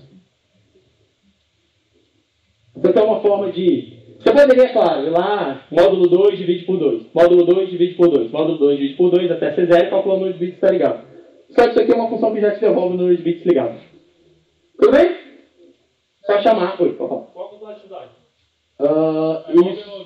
Oi? É log ou é log? Então, é, como ela recebe inteiro long long, ela vai fazer no máximo sempre. Suponha que no processador ela faz. Ela só itera pelos bits. Como é sempre 30 ou sempre 60, é uma constante. Então é, poderia ser ó de 60. Se eu não me engano, isso aqui é uma instrução de processador, mas eu não entendo tanto de linguagem de máquina a ponto de ter certeza, mas eu acho que isso aqui é ótimo. Tem uma instrução para fazer pop count. Acho. Mas independente de ser uma instrução ou ser um algoritmozinho lá, isso aqui é feito a um nível, a baixo nível, que é bem rápido. Tudo bem? E é uma forma bem conveniente de só contar o número de bits. Não tem que escrever uma função que ele acompanha o número. Tudo bem? Isso aqui já é dado para você. Tranquilo? Mas vale a pena pesquisar se isso, é, um, é uma instrução de processador ou não. Mas é, independente disso, é rápido. Uh, ok. Uma coisa clara que a gente já ganha disso aqui é se eu tenho um conjunto de n elementos, qual é o número de subconjuntos que existem? 2 elevado a n, né? Que é o número de números binários, né? O número binário pode estar ligado ou não. Então é 2 vezes 2 vezes 2 vezes 2 vezes 2 vezes 2 que leva o 2 elevado a n, certo? Tranquilo? Pega a representação, o elemento pode estar ou não. 2 vezes 2 vezes 2 vezes 2 vezes 2, análise combinatória, 2 elevado a n. Tranquilo? Show? E vai ter tempo de eu cobrir o problema e da gente conversar um, um pouquinho. Então, esse é um problema. Ah, tudo bem. Uh, esse é um problema que eu gosto bastante também. É um problema famoso, mas ele conversa muito bem com os problemas que a gente conversou agora. Problema.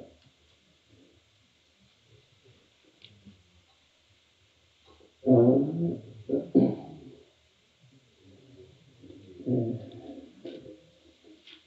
chamar de tarefas. Tudo bem? Eu vou te dar uma lista. Vou te, vou te dar dois números N e M. Tudo bem? Eu vou te dar também uma lista. Vou te dar. Isso aqui é, na verdade, é o número de tarefas. Número de tarefas. Isso aqui é tarefas totais. Número de tarefas que eu quero realizar. Tudo bem? É... E o que, que eu vou dar além disso? Eu vou te dar um vetor A, pertencente ao Zn, que é o quanto eu ganho por completar cada tarefa. E eu vou te dar uma matriz C, tá, pertencente ao Zn vezes N, que é o quanto eu ganho se eu fizer a tarefa I imediatamente depois da tarefa J. Tudo bem? Então agora eu vou ter duas informações. Isso aqui é quanto valor da tarefa. E isso aqui é valor. É bônus, vou chamar de bônus, ao fazer a tarefa. E imediatamente após a J. Tudo bem? Tranquilo? Então, nesse problema agora eu tenho duas formas de ganhar, que é faça uma tarefa ou faça uma tarefa, faça umas tarefas de uma certa ordem. Percebe que o mesmo conjunto de tarefas em ordens diferentes podem dar lucros diferentes, porque eu quero fazer, é, eu só ganho esse bônus quando eu faço imediatamente após a outra. Tudo bem? Qual é o meu objetivo? Objetivo encontrar uma ordem que maximiza o lucro. Tudo bem? E aí, como é que vocês resolveriam esse problema? Ele é bem similar a um outro problema que a gente acabou de ver, né? Parece um pouco o problema da mochila, certo? Qual é a principal diferença? É, o vetor, é a matriz C, né? E aí? Vou dar. Vou dar. 20 segundos para vocês pensarem um pouco. Como é que vocês fariam? Aceito, aceito sugestões, aceito ideias.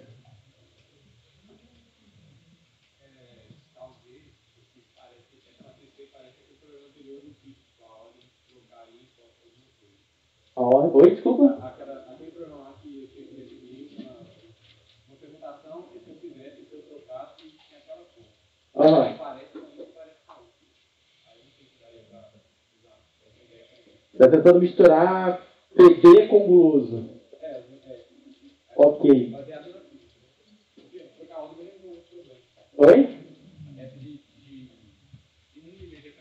Após o outro me lembrou a do outro problema.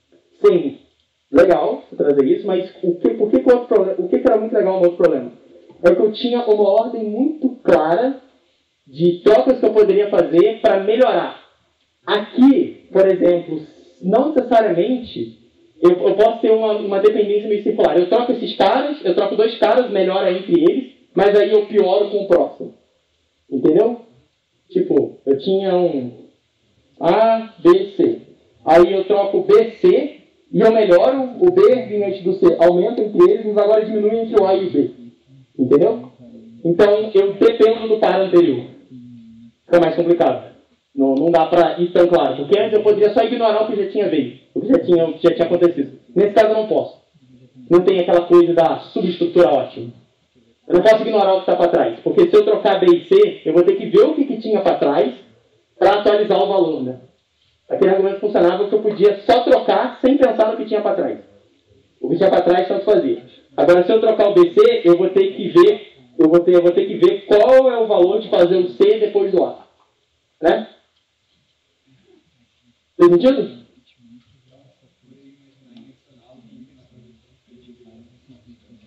Guardar o anterior é bom. E aí, quais ficam os estados então? Já pensaram bastante. Quais ficam os estados? Guardar o anterior, o. Qual é o seu nome? Desculpa? Denner. Denner. Denner da ideia de guardar anterior, uma boa ideia. E aí? O que mais? Você pode usar a manipulação de bits para tipo, andar em todos os conjuntos e ter tipo, todas as sequências, digamos assim. Dá conjuntar. Sim. Posso. Mas é. isso. Então, ah, é complicado porque eu não quero, eu posso não querer gerar todos os conjuntos, eu quero gerar todos os conjuntos de tamanho M. Aí isso é N, N escolhe M. Entendeu? Que pode ser, acaba ficando, acaba ficando bem ruim aqui. É fatorial. Pode acabar ficando bem pesado. A gente vai precisar mexer, a gente vai, a gente vai ter que ficar recalculando tudo. A gente vai ter que pensar numa PD mesmo. Tipo, não só brutar todos os conjuntos. Jogo é pegar o máximo é fazer um subconjunto. Oi? O máximo é fazer um determinado subconjunto. O máximo para fazer um determinado subconjunto. Hum, ok. Em termos de transição, como é que isso fica? Ó, escrevi PD. Rapaz, é uma ideia boa. Lá vai ter o último aqui. O que é que vai ter aqui? Uma bitmask de quem eu já peguei. Certo? E o que, é que vai ser a minha transição? Se, ah, vamos dizer que o número de bits da minha bitmask é igual a n. Eu já peguei tudo que eu queria, certo? Então já não tem mais o que fazer. Volta, volta para zero. Caso contrário, o que, que eu faço? Eu pego o máximo para i não tá na bitmask, ou seja, eu não peguei o, o para todos os itens que eu não peguei ainda, eu vou fazer o quê? Aí vai ser de leste. E certo? Peguei o i depois do leste, mais a PD. Então, agora o meu último cara que eu peguei é o i, e a bitmask que eu peguei é a bitmask que eu tinha antes, ou o i. Certo? E essa é a transição que eu faço. Ah, ah, qual é a qual é a, a complexidade? É n vezes o número de bitmasks, que é o número de bitmasks com n bits ligados. Isso aqui é uma forma bem metódica de fazer esse problema. Não vou implementar, isso vai cair na prova de amanhã. Já estou até adiantando. Então vocês vão ter que achar que é o problema que resolve assim e fazer a implementação, tudo bem? Dando colher de chá, hein? Tá tranquilo. Tranquilo, gente? Pesado o dia de hoje? Muita gente sabia muita coisa, muita gente não sabia, não, não, não tinha os conhecimentos prévios, mas o objetivo dessa aula era trazer vocês para um ponto comum. Assim.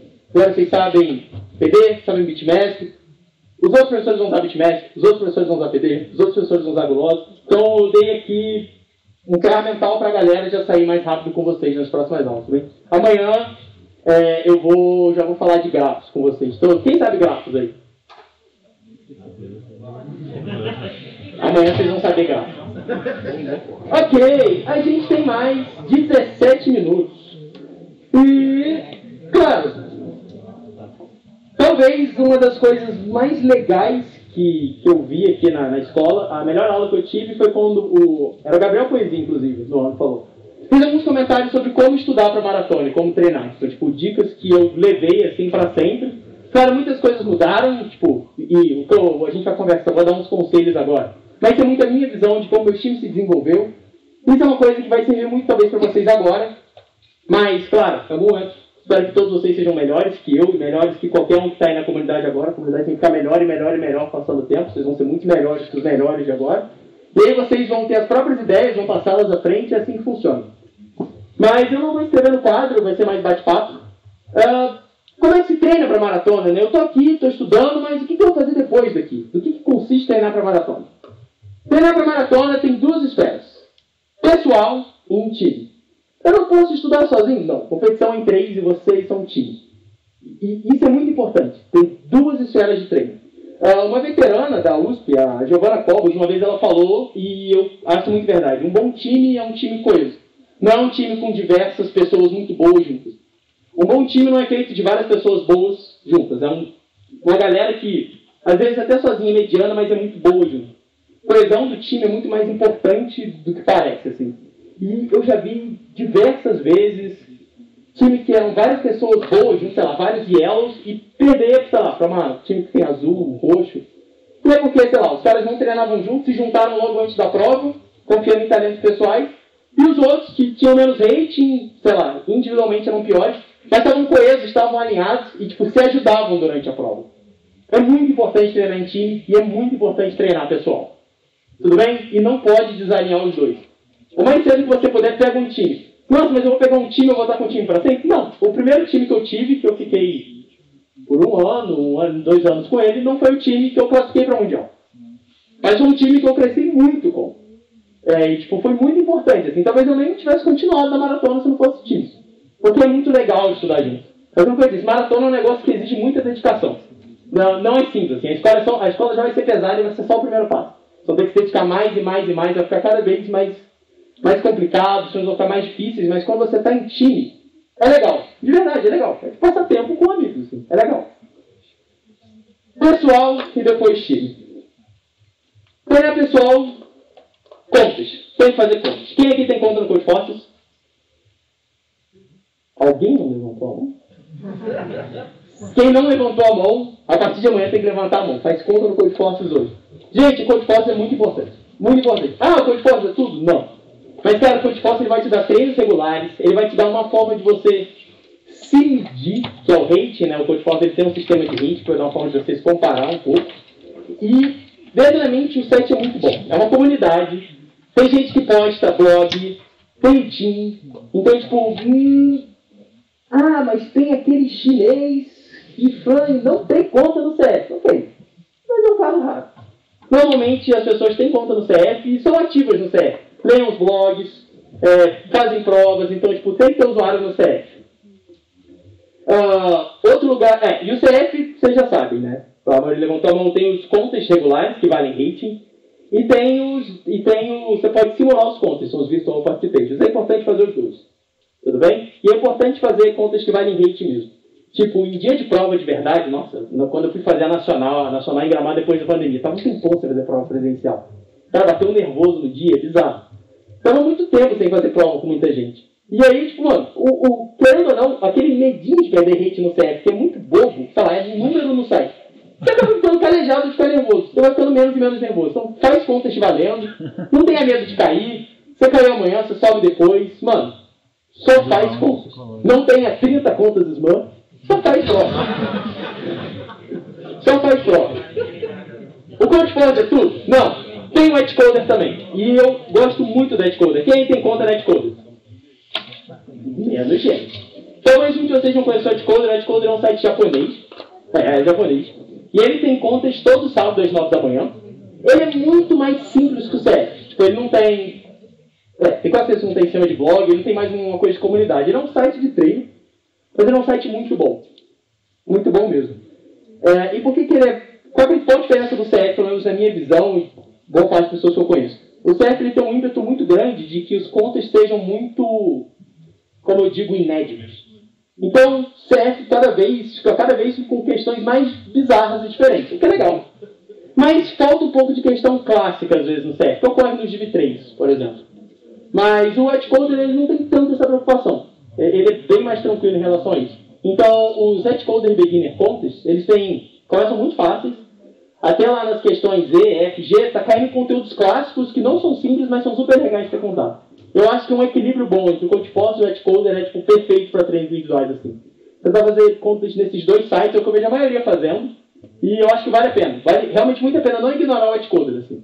Teve um ponto que eu estava fazendo muito CF, e aí eu tava sentindo falta de alguma coisa e era o Edcoder. Então são bons complementos, assim.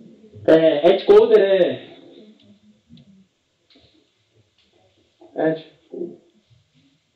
Bota algumas, acho que o site é edcoder.jp. É, é muito bom. Tem outros sites? Tem. Tem CodeChef, que nunca fiz um contas do CodeChef, eu acho, eu fiz uma vez. Eu uso, mas tinha muita questão em também é um site muito bom. Eu uso menos, mas muita gente gosta. E tem o top coder que eu nunca aprendi a usar, pra falar a verdade. eu, eu, eu nunca consegui usar direito o top coder. Aí eu não me dei o trabalho porque eu usava mais o CF e o, e o Xcoder, mas muita gente gosta do top coder também, então acho que vale a pena citar. Mas eu não tenho muito a falar sobre ele porque eu não usei muito. Então, falando um pouco mais sobre o Code Forces, é, essa questão do rating e do contest. Porque eu já disse, o rating não importa. Você perder e ganhar, fica tranquilo, treina a sua ansiedade, treina o nervosismo. Melhor, é melhor perder e você se acostumar com. tá com medo de perder, e aí no dia você está mais calejado da ICPC e tipo, lidar melhor com o nervosismo do que alguém que não está, do que você nunca fazer.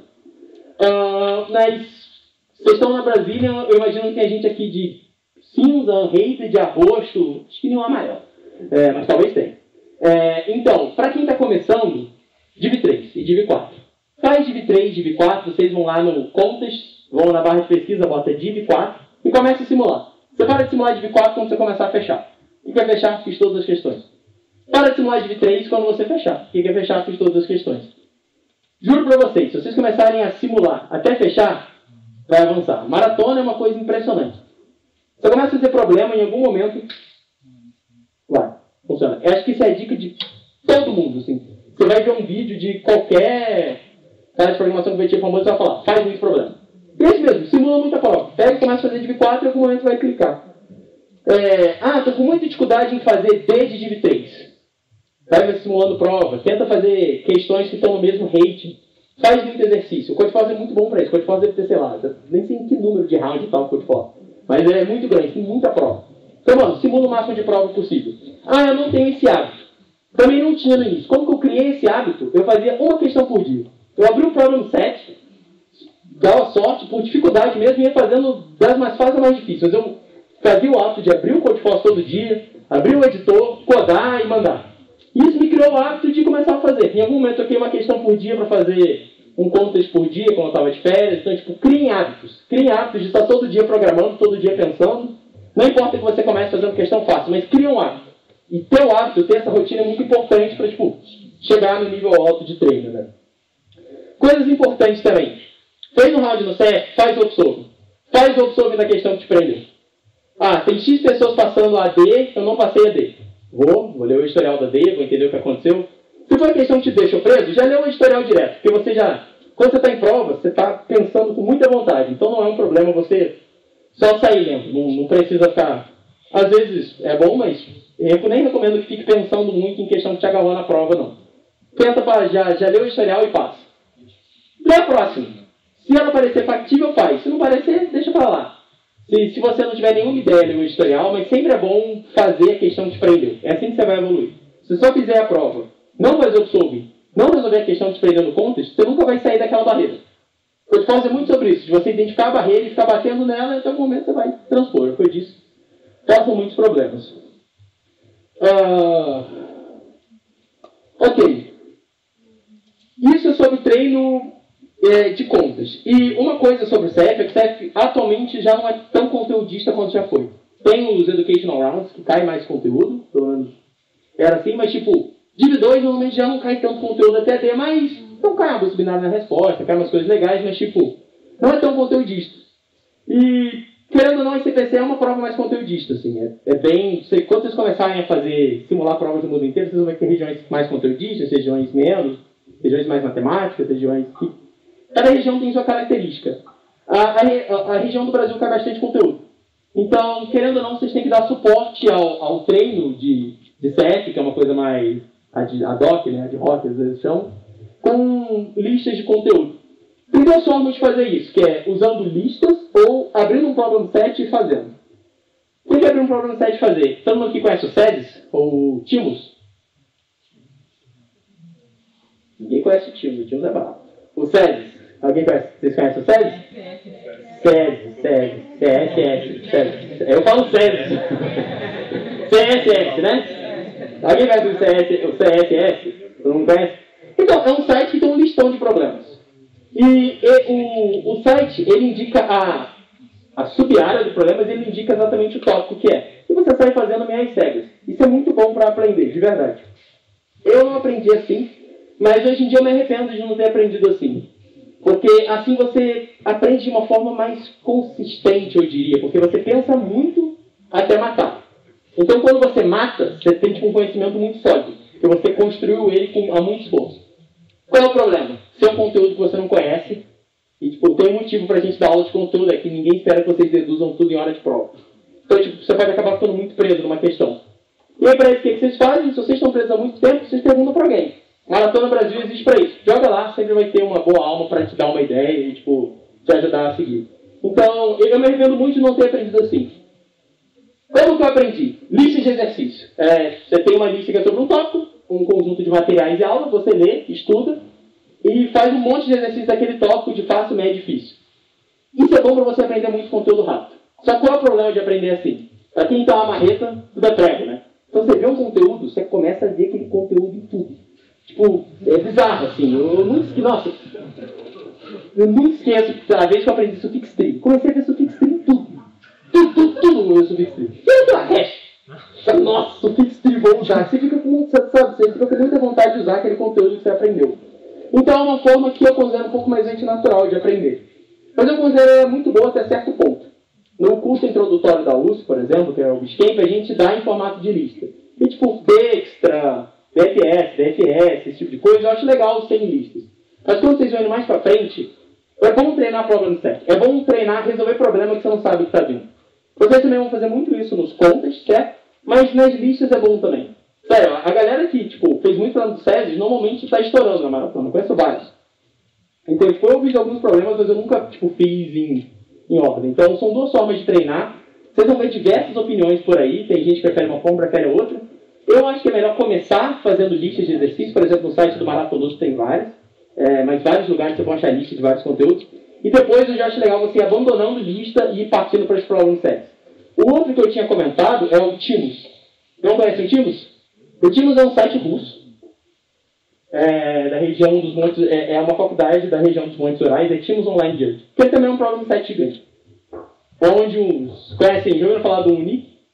É, é ele treina. é muito bom, sabe? De verdade, tem muito problema bom aqui. Problema de petrosavótica aqui, tem muita coisa boa aqui. O Timos é um acervo absurdamente bom de problema. O Timos é bem difícil. É, mas assim, é bem legal também fazer os problemas dele. Ok, tem pouco tempo. Uh, tá, falamos um pouco de prós e contras, né? Então, a regra de ouro é essa: façam muitos exercícios. Tudo bem? Algumas dicas. Leia o código que outras pessoas escreveram. Principalmente no CF, depois que foi a prova, você pode olhar o código de outras pessoas. Dá uma ordena de maior hate para menor hate mesmo. Tipo, vai em quem passou primeiro e vai ver o código de algumas pessoas. Em algum momento você vai achar alguém que coda bonito e vai ter uma ideia legal. Tipo, tudo de implementação, você pega lendo o código dos outros muitas vezes. De gente tipo, que está tá há mais tempo, está experiente. Leia código. É, uma coisa que eu fiz muito e eu, eu recomendo de verdade. Não implementar problemas que fossem em prova de forma feia. Fosse um problema em prova feia. Vou te dizer, nossa, era só implementar desse jeito. Implementa. Tipo, nunca não implemente uma ideia que você teve. Implementar cria esse músculo, assim. Então não deixe de implementar, não deixe de implementar. Uh, e uma coisa também, principalmente em CF, que é muito rápido. Tenta ter a ideia bem estruturada antes de começar a codar. Quantas vezes no CF eu tive uma ideia, comecei a codar e falei, nossa, não funciona no caso da folha. Ah, nossa, isso eu não sei fazer. Ah, então eu tinha que ficar escrevendo, pensando, mexendo no código, não viu quanto deixa acabar, vou deixar passar. Tenta, tenta quebrar bonitinho o problema. Ah, eu vou resolver ele assim, vou implementar ele assim, essa parte eu vou implementar desse jeito. Não vai ser codar tudo na folha, mas organiza bem as ideias antes. Tem muita gente, principalmente quem está começando, é muito afobado de começar a codar. Tem uma ideia? Aí quando vai ver, o cara digita rapidão, Aí vai lá e apaga tudo. Então não adianta você digitar rápido se você vai ter que ficar apagando o seu código. Um código acurado, digita com ideias corretas, é muito melhor do que um código rápido. Te garanto que debugar é muito pior do que do que digitar devagar.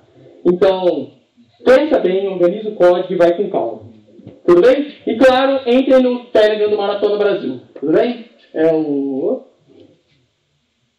É t.me Maratona Brasil. Para quem não conhece esse grupo, é onde a galera se reúne para discutir coisas de maratona do Brasil inteiro, rola muita coisa lá.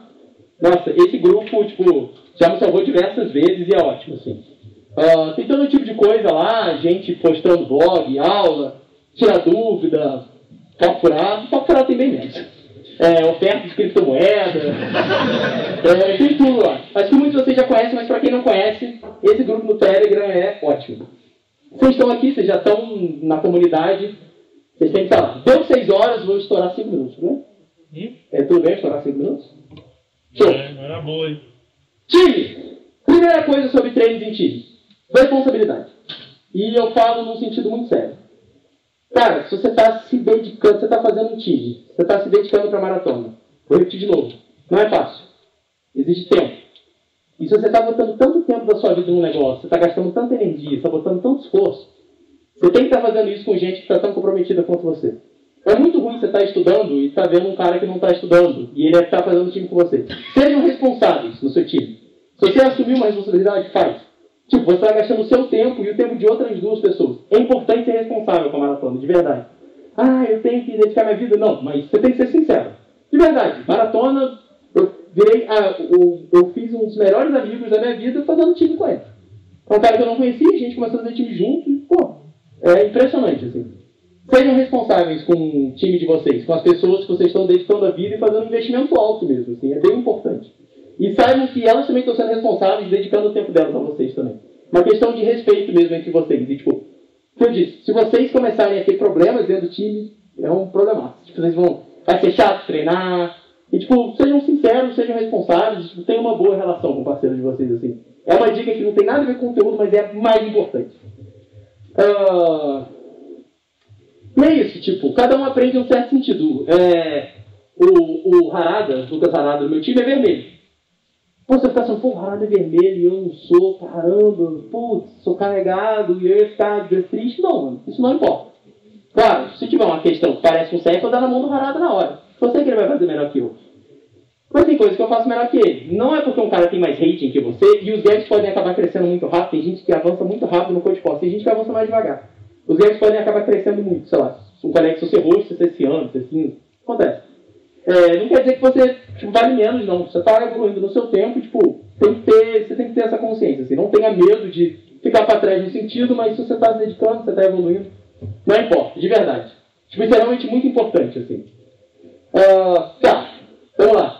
Time, contas de 5 horas. É, contas de 5 horas. Todo mundo já fez um contas de 5 horas, por exemplo, hoje.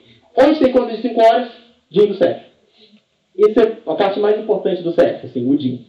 O DIN tem prova, tem prova brasileira, da latino-americana, tem prova do mundo inteiro. O DIN é o melhor lugar para treinar, tipo, não tem nem o que, não tem nem o que dizer quanto a isso. Assim, dá para treinar em outros lugares? Dá. Tem o URI, que tem umas sub-regionais brasileiras antigas.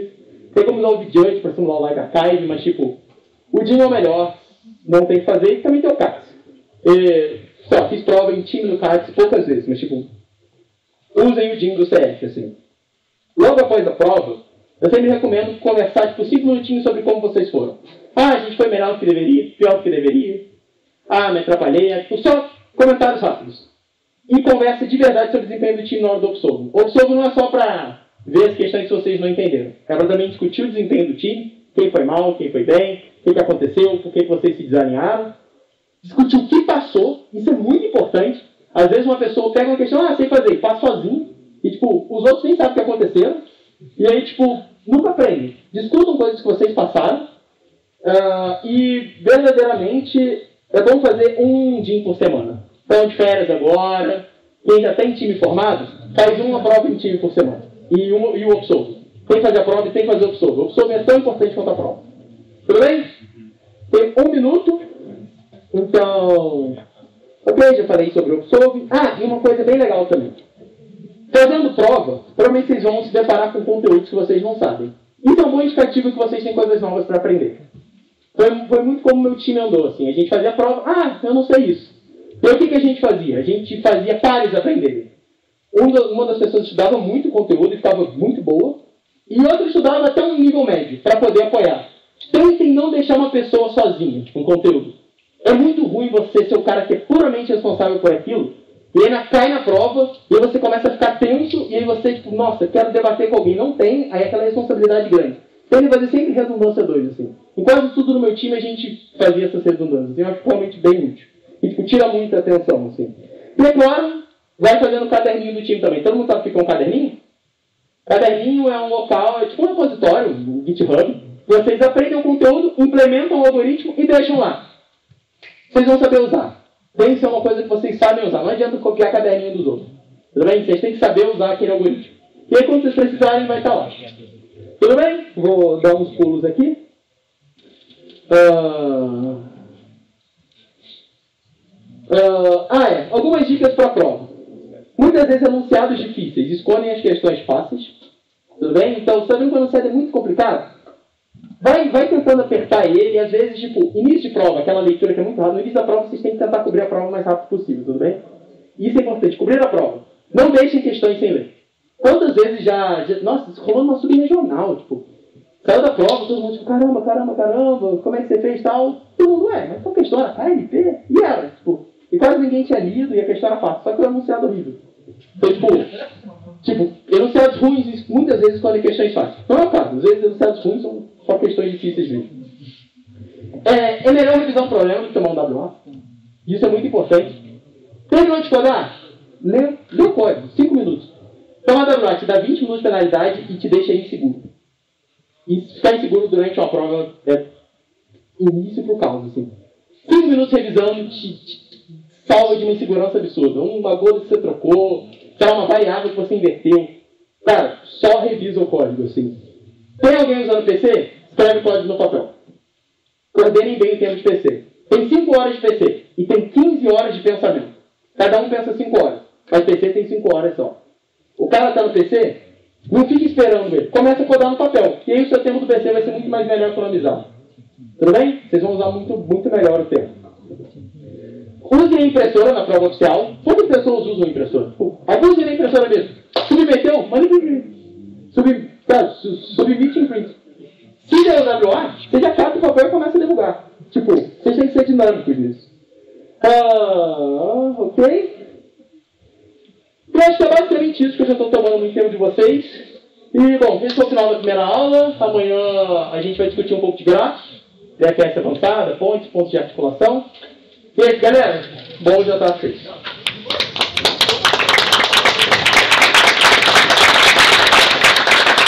Muito obrigado. Eu vou, eu vou